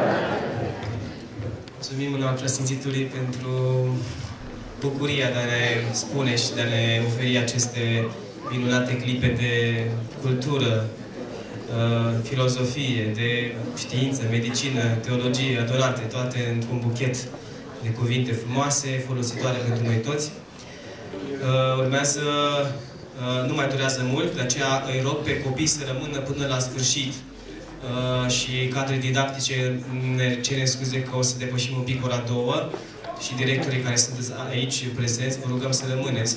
Nu mai durează mult. Acum vom împărți împreună cu colegii organizatori de aici repede niște pixuri și hârtii în sală. Cei care doresc să adreseze celor de aici câteva întrebări, îi, uh, îi rog să aibă curajul, bucuria de a se crea un dialog, uh, fără nicio, nicio problemă.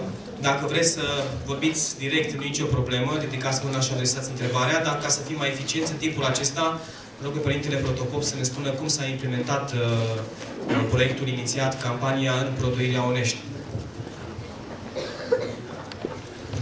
În al prezenția voastră, uh, pe cucenici părinți consilieri, pe cucenici părinți inspector, pe cucenicile voastre, pe cucenici părinți, frați, împreună slujitori Mântuitorului nostru Iisus Hristos, distinse Părinte Brăjoveanu de la împreună cu și frăției tale, iubite și distinse cadre didactice și iubiții noștri copii, elevi, liceieni.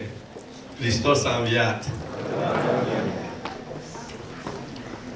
În prezenția voastră, ce să spun eu? Spun doar atâta, că nu-i de mirare, că mare deosebire este între noi și Isus. Și vreau să spun că în altă prezenția voastră ați venit ca să ne arătați cât de aproape este Isus de noi și cât uh, uh, de mult El dorește ca să facă bine tuturor suferinților acestei lumi. Pentru că noi ne-am obișnuit ca să trecem repede pe lângă suferinții lumii acesteia. Nu avem răbdare cu suferințele lor. Pentru că suntem incapabili în fața suferinței. Noi nu avem bani, noi nu avem uh, inimă, noi nu avem nimic în fața suferinței. Fugim de suferință, înseamnă că fugim de nimicnicia noastră. Dar Protoieria Onești, cu binecuvântarea în prezenției voastre, și-a pus în gând cu ajutorul Dumnezeu ca să arate că nu vrem să fugim de suferinți și nici de suferințele lumii acestea. Cel puțin căutăm să facem ceva exact ceea ce a spus în alt prezenția voastră. Căutăm ca să dăm ajutor Uh, potrivit dimensiunii noastre, pentru că ne cunoaștem marginile noastre. Și uh, de aceea s-a declanșat acest uh, proiect și am căutat să-l implementăm în protoieria noastră, în satele, în comunile și în orașele protoieriei noastre. De aceea astăzi ați venit la Unești ca să dați suflu, să dinamizați evenimentul caritabil. Ajută-mă să văd și eu ca tine. Sunteți într-adevăr, sau mai bine zis, aveți în preajmă, în alta Sfinției voastre, o distinsă doctoriță a Oneștiului, doamna Dana Câlțaru, o cunosc de foarte multă vreme și face parte din elita medicilor oneșteni a avut înainte o doctoriță deosebită, născută chiar aici, pe Valea Oituzului, doamna Aurelia Coseac. Iar soțul ei, domnul inginer Coseac, ne-a fost diriginte la catedrală. Dânsa opera și era o doctoriță căutată, așa cum este această distinsă doamnă doctor Dana. Iar domnul inginer a înțeles ca să construiască catedrala, să fie văzută cu ochi buni, de către oneșteni și să vadă lumina lumii și să vadă pe Cel ce a spus că eu sunt lumina lumii. Ați venit eh, în al preasfinția voastră și ne-ați adus totodată aici pe acești suferinți, care nu sunt de vină ei, pentru că astăzi aici la Onești ne-a fost dat să vedem exact cum a spus Iisus ucenicilor, că nu aceștia au greșit, nici părinții lor, ci pentru ca să arate lucrările lui Dumnezeu. Și astăzi aici am văzut cu ochii noștri lucrările lui Dumnezeu. Cum de altfel și ieri am văzut la biserică, trăind în liturgia, pe orbul vindecat cum mărturisea Dumnezeirea lui Hristos. Lucrul acesta vrem să-l facem în al preasenția voastră în cadrul protopopiatului. Vrem ca să arătăm că suntem purtătorii acelei mai mari creații care este omul, care este sufletul. Și noi ne privim acum unii pe alții pentru că avem ochii trupului sănătoși și pot permite ca acei ochi sufletești să privească prin acești ochi trupești. Pentru că mâinile sufletului nostru mișcă mâinile trupului nostru. Picioarele sufletelor noastre mișcă picioarele trupurilor noastre. Urechile sufletelor noastre ascultă prin urechile trupului nostru. De aceea, acești copii, ei ar vrea să vadă, dar nu văd pentru că au defecțiuni biologice. Ei nu au ochii trupului în perfecțiunea care a creat Dumnezeu sufletul. Pentru că Dumnezeu nu a creat nimic imperfect. Sufletul este o perfecțiune. De aceea este viu și nemuritor și veșnic tânăr. N-a creat Dumnezeu niciun suflet fără vedere, fără ochi.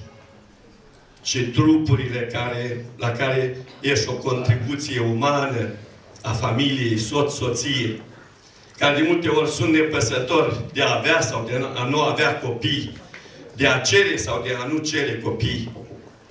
Am văzut astăzi aici și ne-ați adus și vă mulțumim și o felicităm pe distinsa doamnă director de la acești copii pentru care se jertfesc atâtea persoane și care nu sunt nepăsători ca cei care a spus la început că trec și nu le pasă de suferință.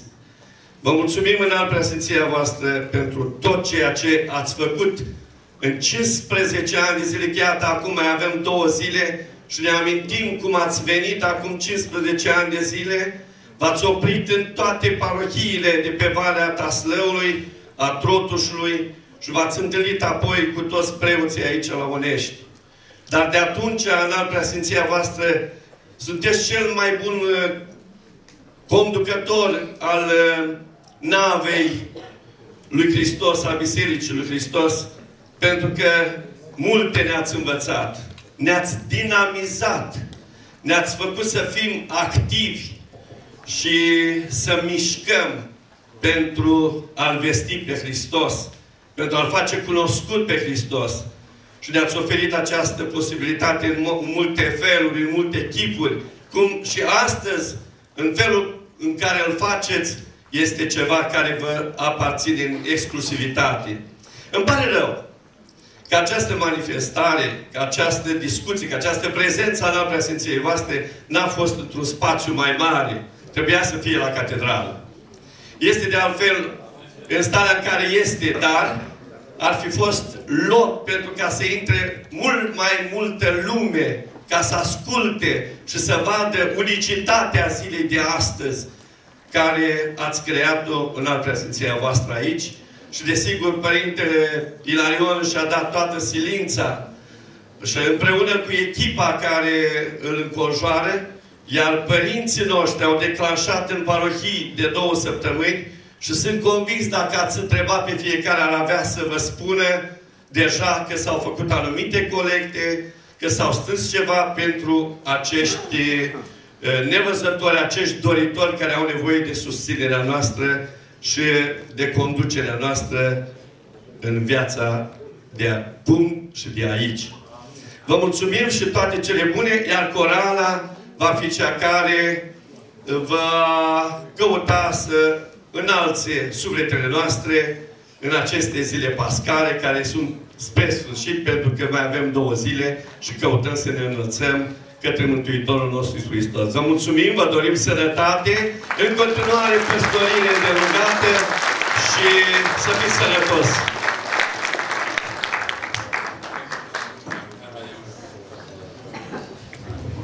Mulțumim mult, Părinte Protocol, pentru felul care v-ați implicat în uh, implementarea proiectului social Ajută-mă să văd și eu ca tine. Părinții și-au identificat câte un caz, cel puțin un tânăr, dacă nu mai mulți, uh, din parohiile lor, și rurale și urbane. Vom uh, disemina această întâlnire ulterior, vom aduna informații, vom colabora cu doamna doctor, vom prioritiza cazurile, se vor face operații, intervenții, ochelari și așa mai departe. După implementare vă vom da un raport asupra activității noastre. Ne-am propus să ajutăm cel puțin 15 tineri, copii și 20 de bătrâni, cel puțin anul acesta și vom continua și, și la anul pe zona aceasta Uneștiului, vom continua și în Arhiepiscopie la celelalte protopopiate. Rugăm pe Părintele Adrian, Părintele Dirijos să uh, ne încânte împreună cu preoții coralei și în acest, în acest timp să definitivați întrebările, chiar să scrieți cui vă adresați în, în, mesaj, ca să știm cui citim. În timp ce cântați, vă rugăm frumos să ne dați aici, să le selectăm și apoi să terminăm întâlnirea de astăzi prin răspunsul la întrebările dumneavoastră. Mulțumesc!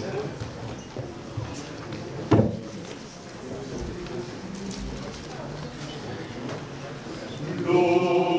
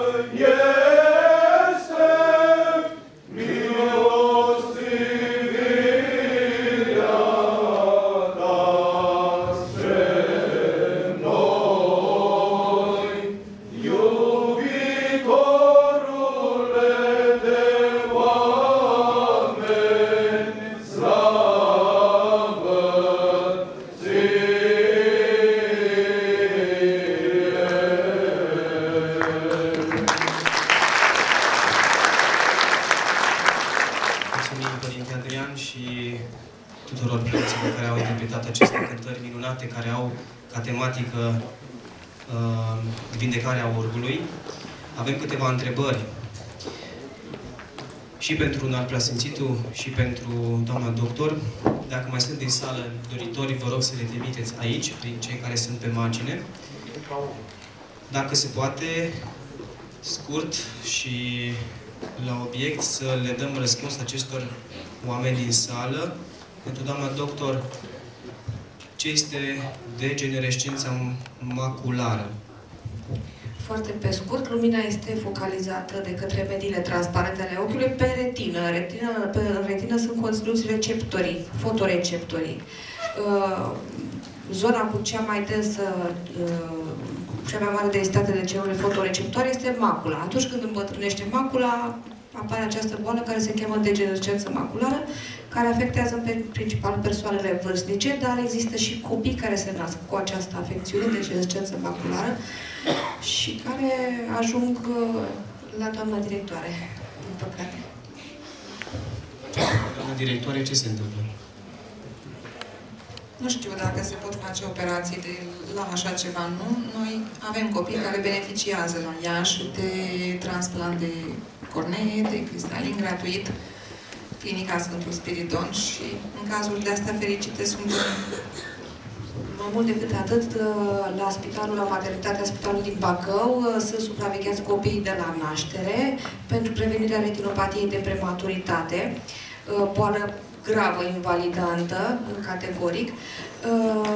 Și avem marea bucurie că, ca o veste deosebită, Ministerul Sănătății o să ne doteze cu un echipament întreg, în valoare foarte mare, pentru ca să nu numai să depistăm uh, retinopatia de prematuritate, ci și să o tratăm. E vorba de uh, un laser uh, de ultimă generație și să sperăm că vom putea să îi depistăm la timp și să îi și tratăm la timp. Uh, este o, de mare delicatețe această, aceste intervenții chirurgicale și să sperăm că din septembrie-octombrie vom aduce această practică la Bacău ca Dumnezeu să se întâmple așa. Uh, pentru un alt preasfințitul, întreabă cineva dacă putem avea mai multe religii.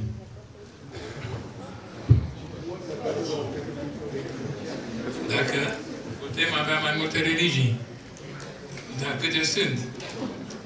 Dacă credeți că sunt mai multe, păi dacă eu aș întreba invers. Voi aparțineți unei religii?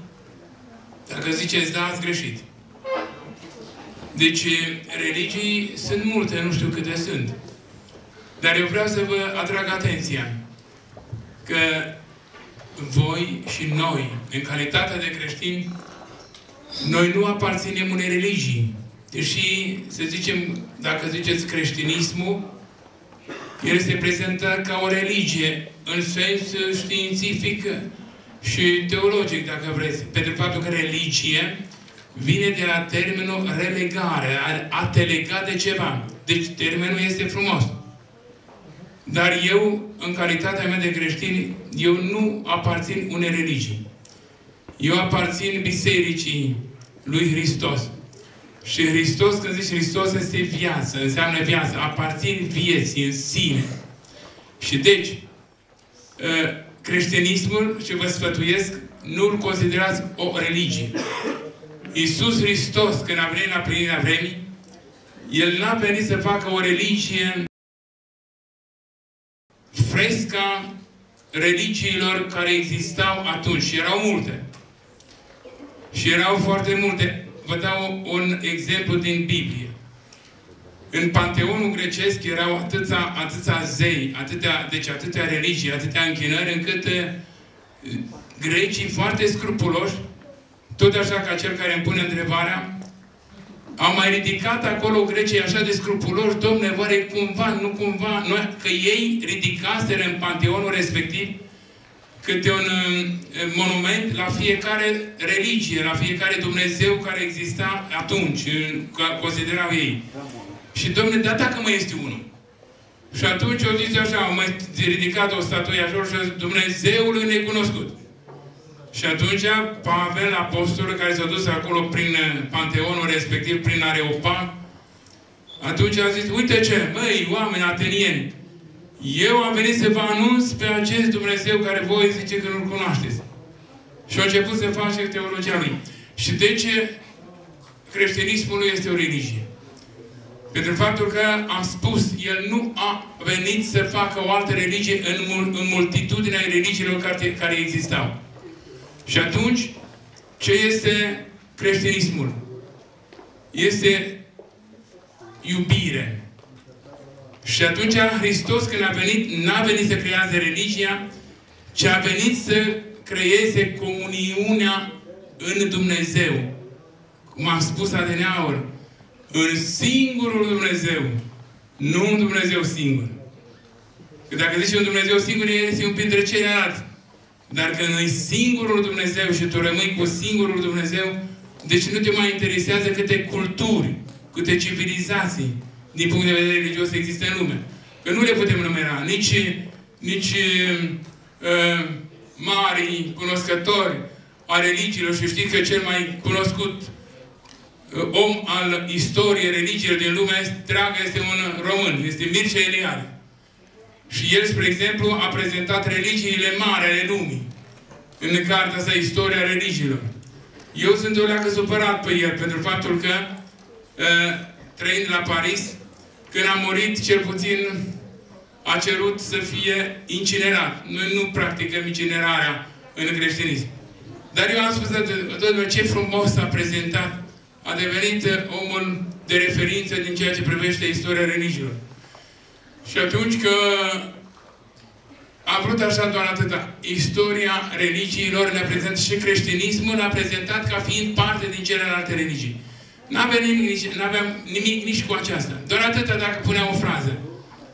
Creștinismul este o religie revelată.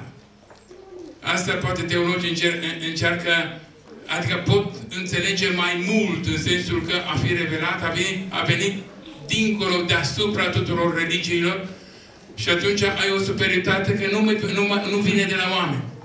Pentru faptul că dacă luăm o religie, spre exemplu, cum este hindusă, a fost uh, organizată de cineva, de un om, care s-a avut pe pământ multă trecere și a, a reușit să creeze un sistem religios.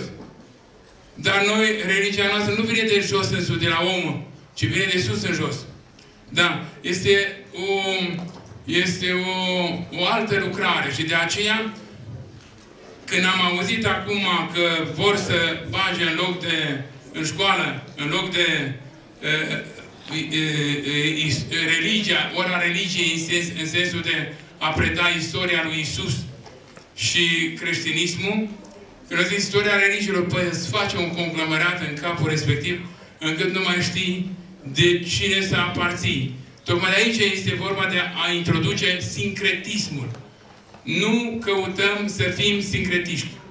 Întrucât amintiți-vă prin uh, secolul al XIX, al XX-lea a trăit un, un filozof negativist, Andrei Malraux, care spune așa, că a spus așa, zice el că a fost un profet, dar n-a fost. Dacă secolul 21, și noi suntem acum, în mileniul al 3 va fi religios sau nu va fi deloc. Iată că noi suntem frumoși în secolul al, 30, al 21-lea și deci în mileniul al 3-lea suntem mai religioși sau nu? Dar suntem. Problema că nu suntem totuși omul secolului în care trăim, nu știu dacă este mai religios, dar pentru faptul că avem posibilitatea să ne întâlnim cu foarte multe culturi, foarte multe uh, religii, nu le putem număra. Dar să vedem cum ne structurăm identitatea noastră religioasă în contextul acestei mari conglomerat al lumii actuale, când avem posibilitatea să intrăm în legătură cu orice uh, influență religioasă, orice grup religios, orice mare religie și așa mai departe. De aceea, să ne structurăm identitatea noastră și atunci, dacă devenim un bun creștin, bine le studiezi pe celelalte comparativ, ai dreptul ca, ca știință. Dar, tu faci parte dintr-o biserică care înseamnă viață, care înseamnă perspectiva de, că îți dă perspectiva dincolo de moarte cu certitudine. Noi vorbim de meta, metafizic, metalogic, metaistorie prin creștinismul nostru. De aceea, e bine să știți, nu vă pot spune, pentru faptul că nu m-a interesat. Deoarece eu am totul ce îmi trebuie în, din punct de vedere religios în biserica mea, pot răspunde aproape la toate întrebările acestea omenești și îl las pe Dumnezeu ca mister să mă pătrundă și de la un timp, cum am spus, cu mintea trebuie să se oprească pentru ca nepătrunsul să intre în, în, în tine ca mister și de la un timp lași acel mister să vorbească de el însuși în tine și atunci, evident că vei fi superior tuturor celor care aparțin altor religii. Dar nu-i judecăm, poate ca urmare la aceasta, îmi vei spune, bine, atunci, dacă noi avem totul, știm totul, ce ne mai trebuie și celelalte și ce fac aceia? Ce face Dumnezeu cu acei care, are, care aparțin altor religii? Părintele Pârnian, de care v-am amintit, tot așa într-o astfel de întâlnire cu tinerii, i-a, pus cineva o întrebare tendențioasă și a zis, Părinte, văd că ești înțelept și chiar vor fiind. Ea spune, catolicii se mântuiesc sau nu? Și părinte înțelept și psiholog, psiholog bun, păi nu bine, că vorbește de nu bine, păi ce mă privește pe mine? Mântuiesc eu? Întreabă-l pe Dumnezeu, El mântuiește, e treaba Lui. Așa, așa, așa și eu, cu religiile.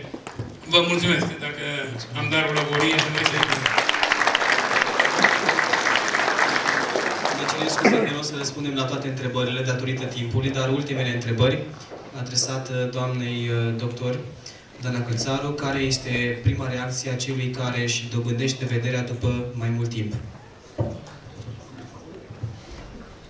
Am avut bucuria de multe ori să văd, uh, să văd astfel de pacienți și pot să mă uh, refer un pic la Evanghelia de ieri, în care era nelămurirea, nedumerirea. Este el acela care a fost vindecat sau este altul? De ce? Pentru că, într-adevăr, se schimbă teribil fizionomia.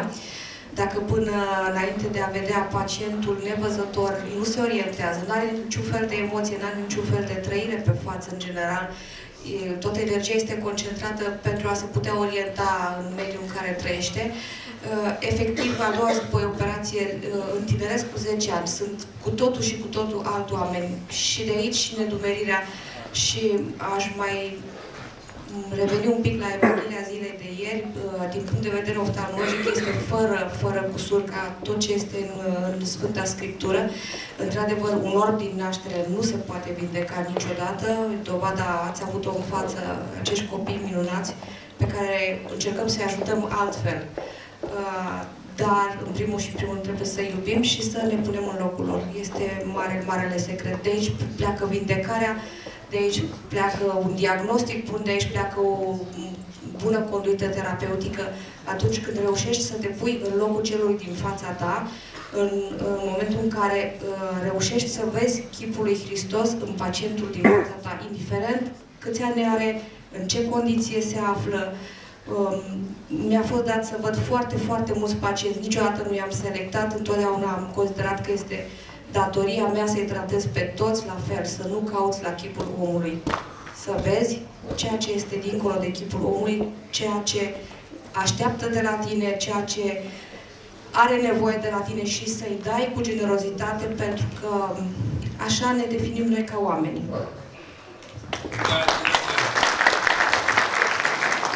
Așa este, vedeți cum uh, revenim toți la Hristos, că până la urmă ce face doctorul, el face o o parte. Ce este ca și Hristos? De altfel, aici cu uh, a, a, acest orb din naștere, acolo este altceva. Este altceva, întrucât Hristos a vrut să dea un mesaj aici. Pentru faptul că El nu a vindecat pe toți orbii. Nu a vindecat pe toți șchiopii.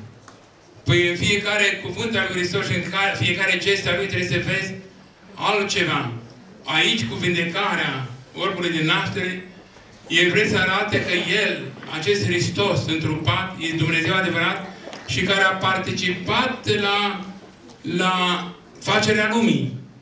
Când acolo, prin providență, prin purtare de grijă, a lăsat un timp ca să restaureze, să completeze creația. De aceea, prin orbul de naștere face ceva deosebit și anume, scuipă, unde în țărână. Păi primul om cum l-a făcut Dumnezeu? O luat din pământul care era și după aceea a făcut-o, l-a modelat. Fi, ca o ființă, ca o statuie. Și după aceea a suflat lui, supra lui Duh de viață și omul s-a făcut ființă vie. Deci, scuipatul acela nu-i saliva. Este Duhul care l-a dat pământului. Deci a completat creația. De aceea se a zis palingeneză înseamnă o completare a creației, o înnoire a creației. Deci doctorul face până la urmă, dar după aceea trebuie să intervine cineva dincolo, cel care este creatorul. De aceea spuneam, apropo de doctor, dacă nu intre în sala operației, într-o operație și face o operație de cataractă și cu Dumnezeu și cu Hristos, care de fapt în chip nevăzut îți mână mâinile tale și mai ales pe ochi, pe ochi este foarte greu să, să operezi. Este organul cel mai sensibil și poate cel mai complex. Și atunci, dacă nu îl ai și pe Dumnezeu, atunci nu reușești, că și Dumnezeu îți, mână, îți mișcă mâinile tale și atunci El completează creația, ă, extirp răul și, bineînțeles, restaurezi, într-un fel, chipul lui Dumnezeu, iubire, pentru faptul că o faci de iubire pentru celălalt celălalt. Adică omul este ca o prescură și devine materia tainei. Omul este un mister. Și când ai pus biseriul pe el, ca și cum preotul pune pe prescură și junghie taie și scoate și îi ține pe toți în comuniune. Deci totul este Dumnezeu, Dumnezeu este totul și tot Dumnezeu este totul în toate. Acel Hristos era și la crearea lumii și era din veci. Acolo arată că Dumnezeu vine în lume, o restaurează permanent și o pregătește pentru perfecțiune prin transfigurare, prin îndumnezeire, către Teos. Vă mulțumim, Părinte Ilarion, să facem Acesta a fost și cuvântul de binecuvântare pentru încheierea acestei întâlniri, dar nu înainte de a oferi toate, toate întrebările le adunăm și le face o evidență în anul acesta în școli. Peste tot adunăm pentru duhovnic și pentru doctor uh, întrebări din uh, partea voastră a uh, celor din la licee și școli și din partea enoriașilor și a preoților. Vom oferi acum din partea înalt preasfințitului, înalt preasfinția sa va oferi din partea episcopiei dragostea și recunoștința pentru celor, cei care s-au implicat în acest proiect, început de proiect, îl vom continua, și aș ruga aici să dăm citire tuturor celor care Uh, au fost foarte mulți cei care s-au implicat, dar uh, în alt preasfinția sa va oferi diplome de uh, excelență și de vrenicie pentru aceștia și câte o icoană cu uh, Sfânta Cuvioasă, Maica noastră Parascheva, curitoarea uh, Catedralei Arhiepiscopale și a Moldovei. Uh, și să nu închei prin, uh, încât prin a lăsa pe toți cei de aici uh, uh, cu mintea deschisă spre ceea ce s-a întâmplat, spre dorința de a continua ajutorarea tinerilor care se află în dificultate, cei cu probleme de vedere. Copiii din licee și din școli au adunat bănuți cu bănuți, leuți cu leuți, din puținul lor. Fiecare școală, împreună cu consilierii și directorii, au făcut aceste colecte. Apreciem generozitatea, solidaritatea și dragostea pentru fraților aflați în suferință. Deci, practic, fiecare școală, fiecare copil din școală își ajută colegul. Cam asta a fost ideea proiectului. Fiecare parohie, preotul paroc, își ajută enoriașul prin acest proiect. Deci nu ajutăm alții care vin de departe, cu chitanțe și cu tot felul de lucruri care pot fi adevărate și acestea. Nu zicem că nu sunt foarte mulți oameni în suferință, dar să ne ajutăm mai întâi oamenii noștri care sunt lângă noi, în felul acesta stimulând dragostea și întrajutorarea celor care sunt uh, aproape de noi, cei mai aproape. Uh, de aceea vom continua școlile și liceile să uh, adunăm aceste fonduri. Cum am spus, vom centraliza și vom prioritiza. Dacă dintre dumneavoastră nu ați făcut-o, la ieșirea din instituție, din această sală, veți găsi două cutii uh, puse special pentru acest eveniment. Uh, puteți oferi ajutorul uh, prin uh, donarea unei sume de bani cât veți vrea dumneavoastră. Copiii au făcut-o deja și le mulțumim și cadrele didactice și școlile, directorii. În același timp, uh, dacă n-ar preasfinția voastră doriți să adresați, uh, să citim împreună numele acestora implicați, Părintele, Inspe- Părintele Consilier, îl rugăm frumos să ne uh, citească diplomele și să vină cei care se aud, dacă nu reprezentanții acestor instituții, uh, aici și să fie felicitați de către Doamna Preasfinția sa.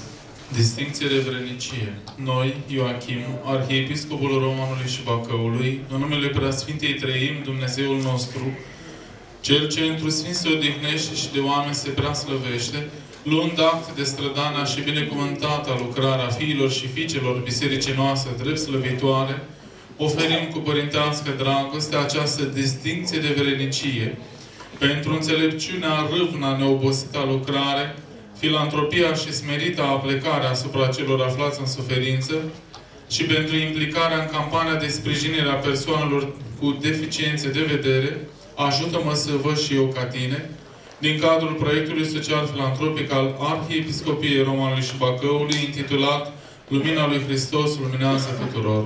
Semnează în alt preasfințitul Părinte Ioachim, Arhiepiscopul Romanului și Bacăului. Doamnei doctor Dana Cristina Călțaru.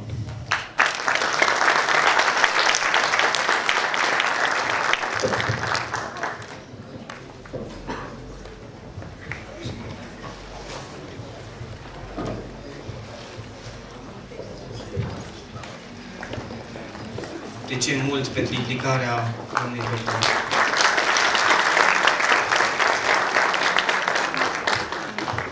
Doamnei profesor Margareta Pristavu, directorul Liceului de Nevăzători și Angloși Moldova, Târgu Frumos.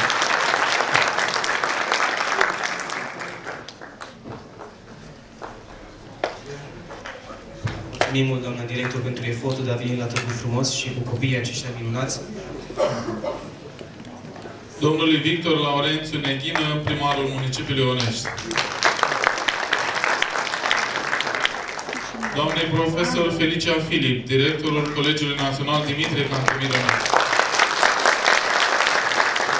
Este rugăm pe reprezentant Părintele Petrică Caute și la la acest liceu să primească Doamnei profesoare Mariana Berețchi, directorul Colegiului Național Grigore Moisilone.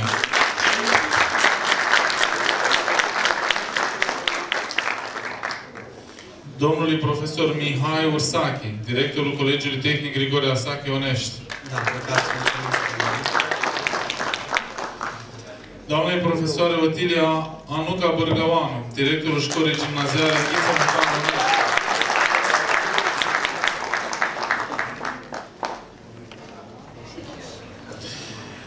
Doamnei profesoare Aurora Sohodoleanu, directorul Școlii Gimnaziale Sfântul Voievoște cel Mare Onești. Reprezentată de doamna profesoară Coșa, Daniela.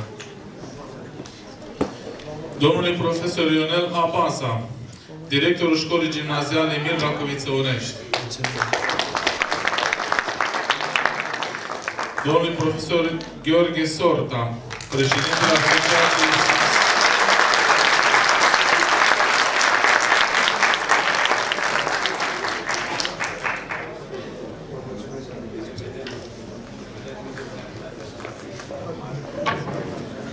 Da, toți merită aprecieri și tuturor părinților, slujitori, preoții colovit aici de față, părintelui uh, de la Bucuș, părintele Paroc, părinților, toți cei care au venit aici de față. Uh, Le mulțumim tuturor și ne dăjdim ca Dumnezeu să ne ajute să putem continua activitatea noastră. Și copiii care sunt aici de față, în ultimul rând, să vină să iau câte o iconiță, cei care au recitat, vor pleca repede de la Înalt Preasfințitul. Vă rugăm să veniți. Și în felul acesta am uh, încheiat uh, lucrarea de astăzi. Nu în ultimul rând de a da slavă lui Dumnezeu și de a ruga pe Dumnezeu să ne ajute în continuare să continuăm proiectul de față.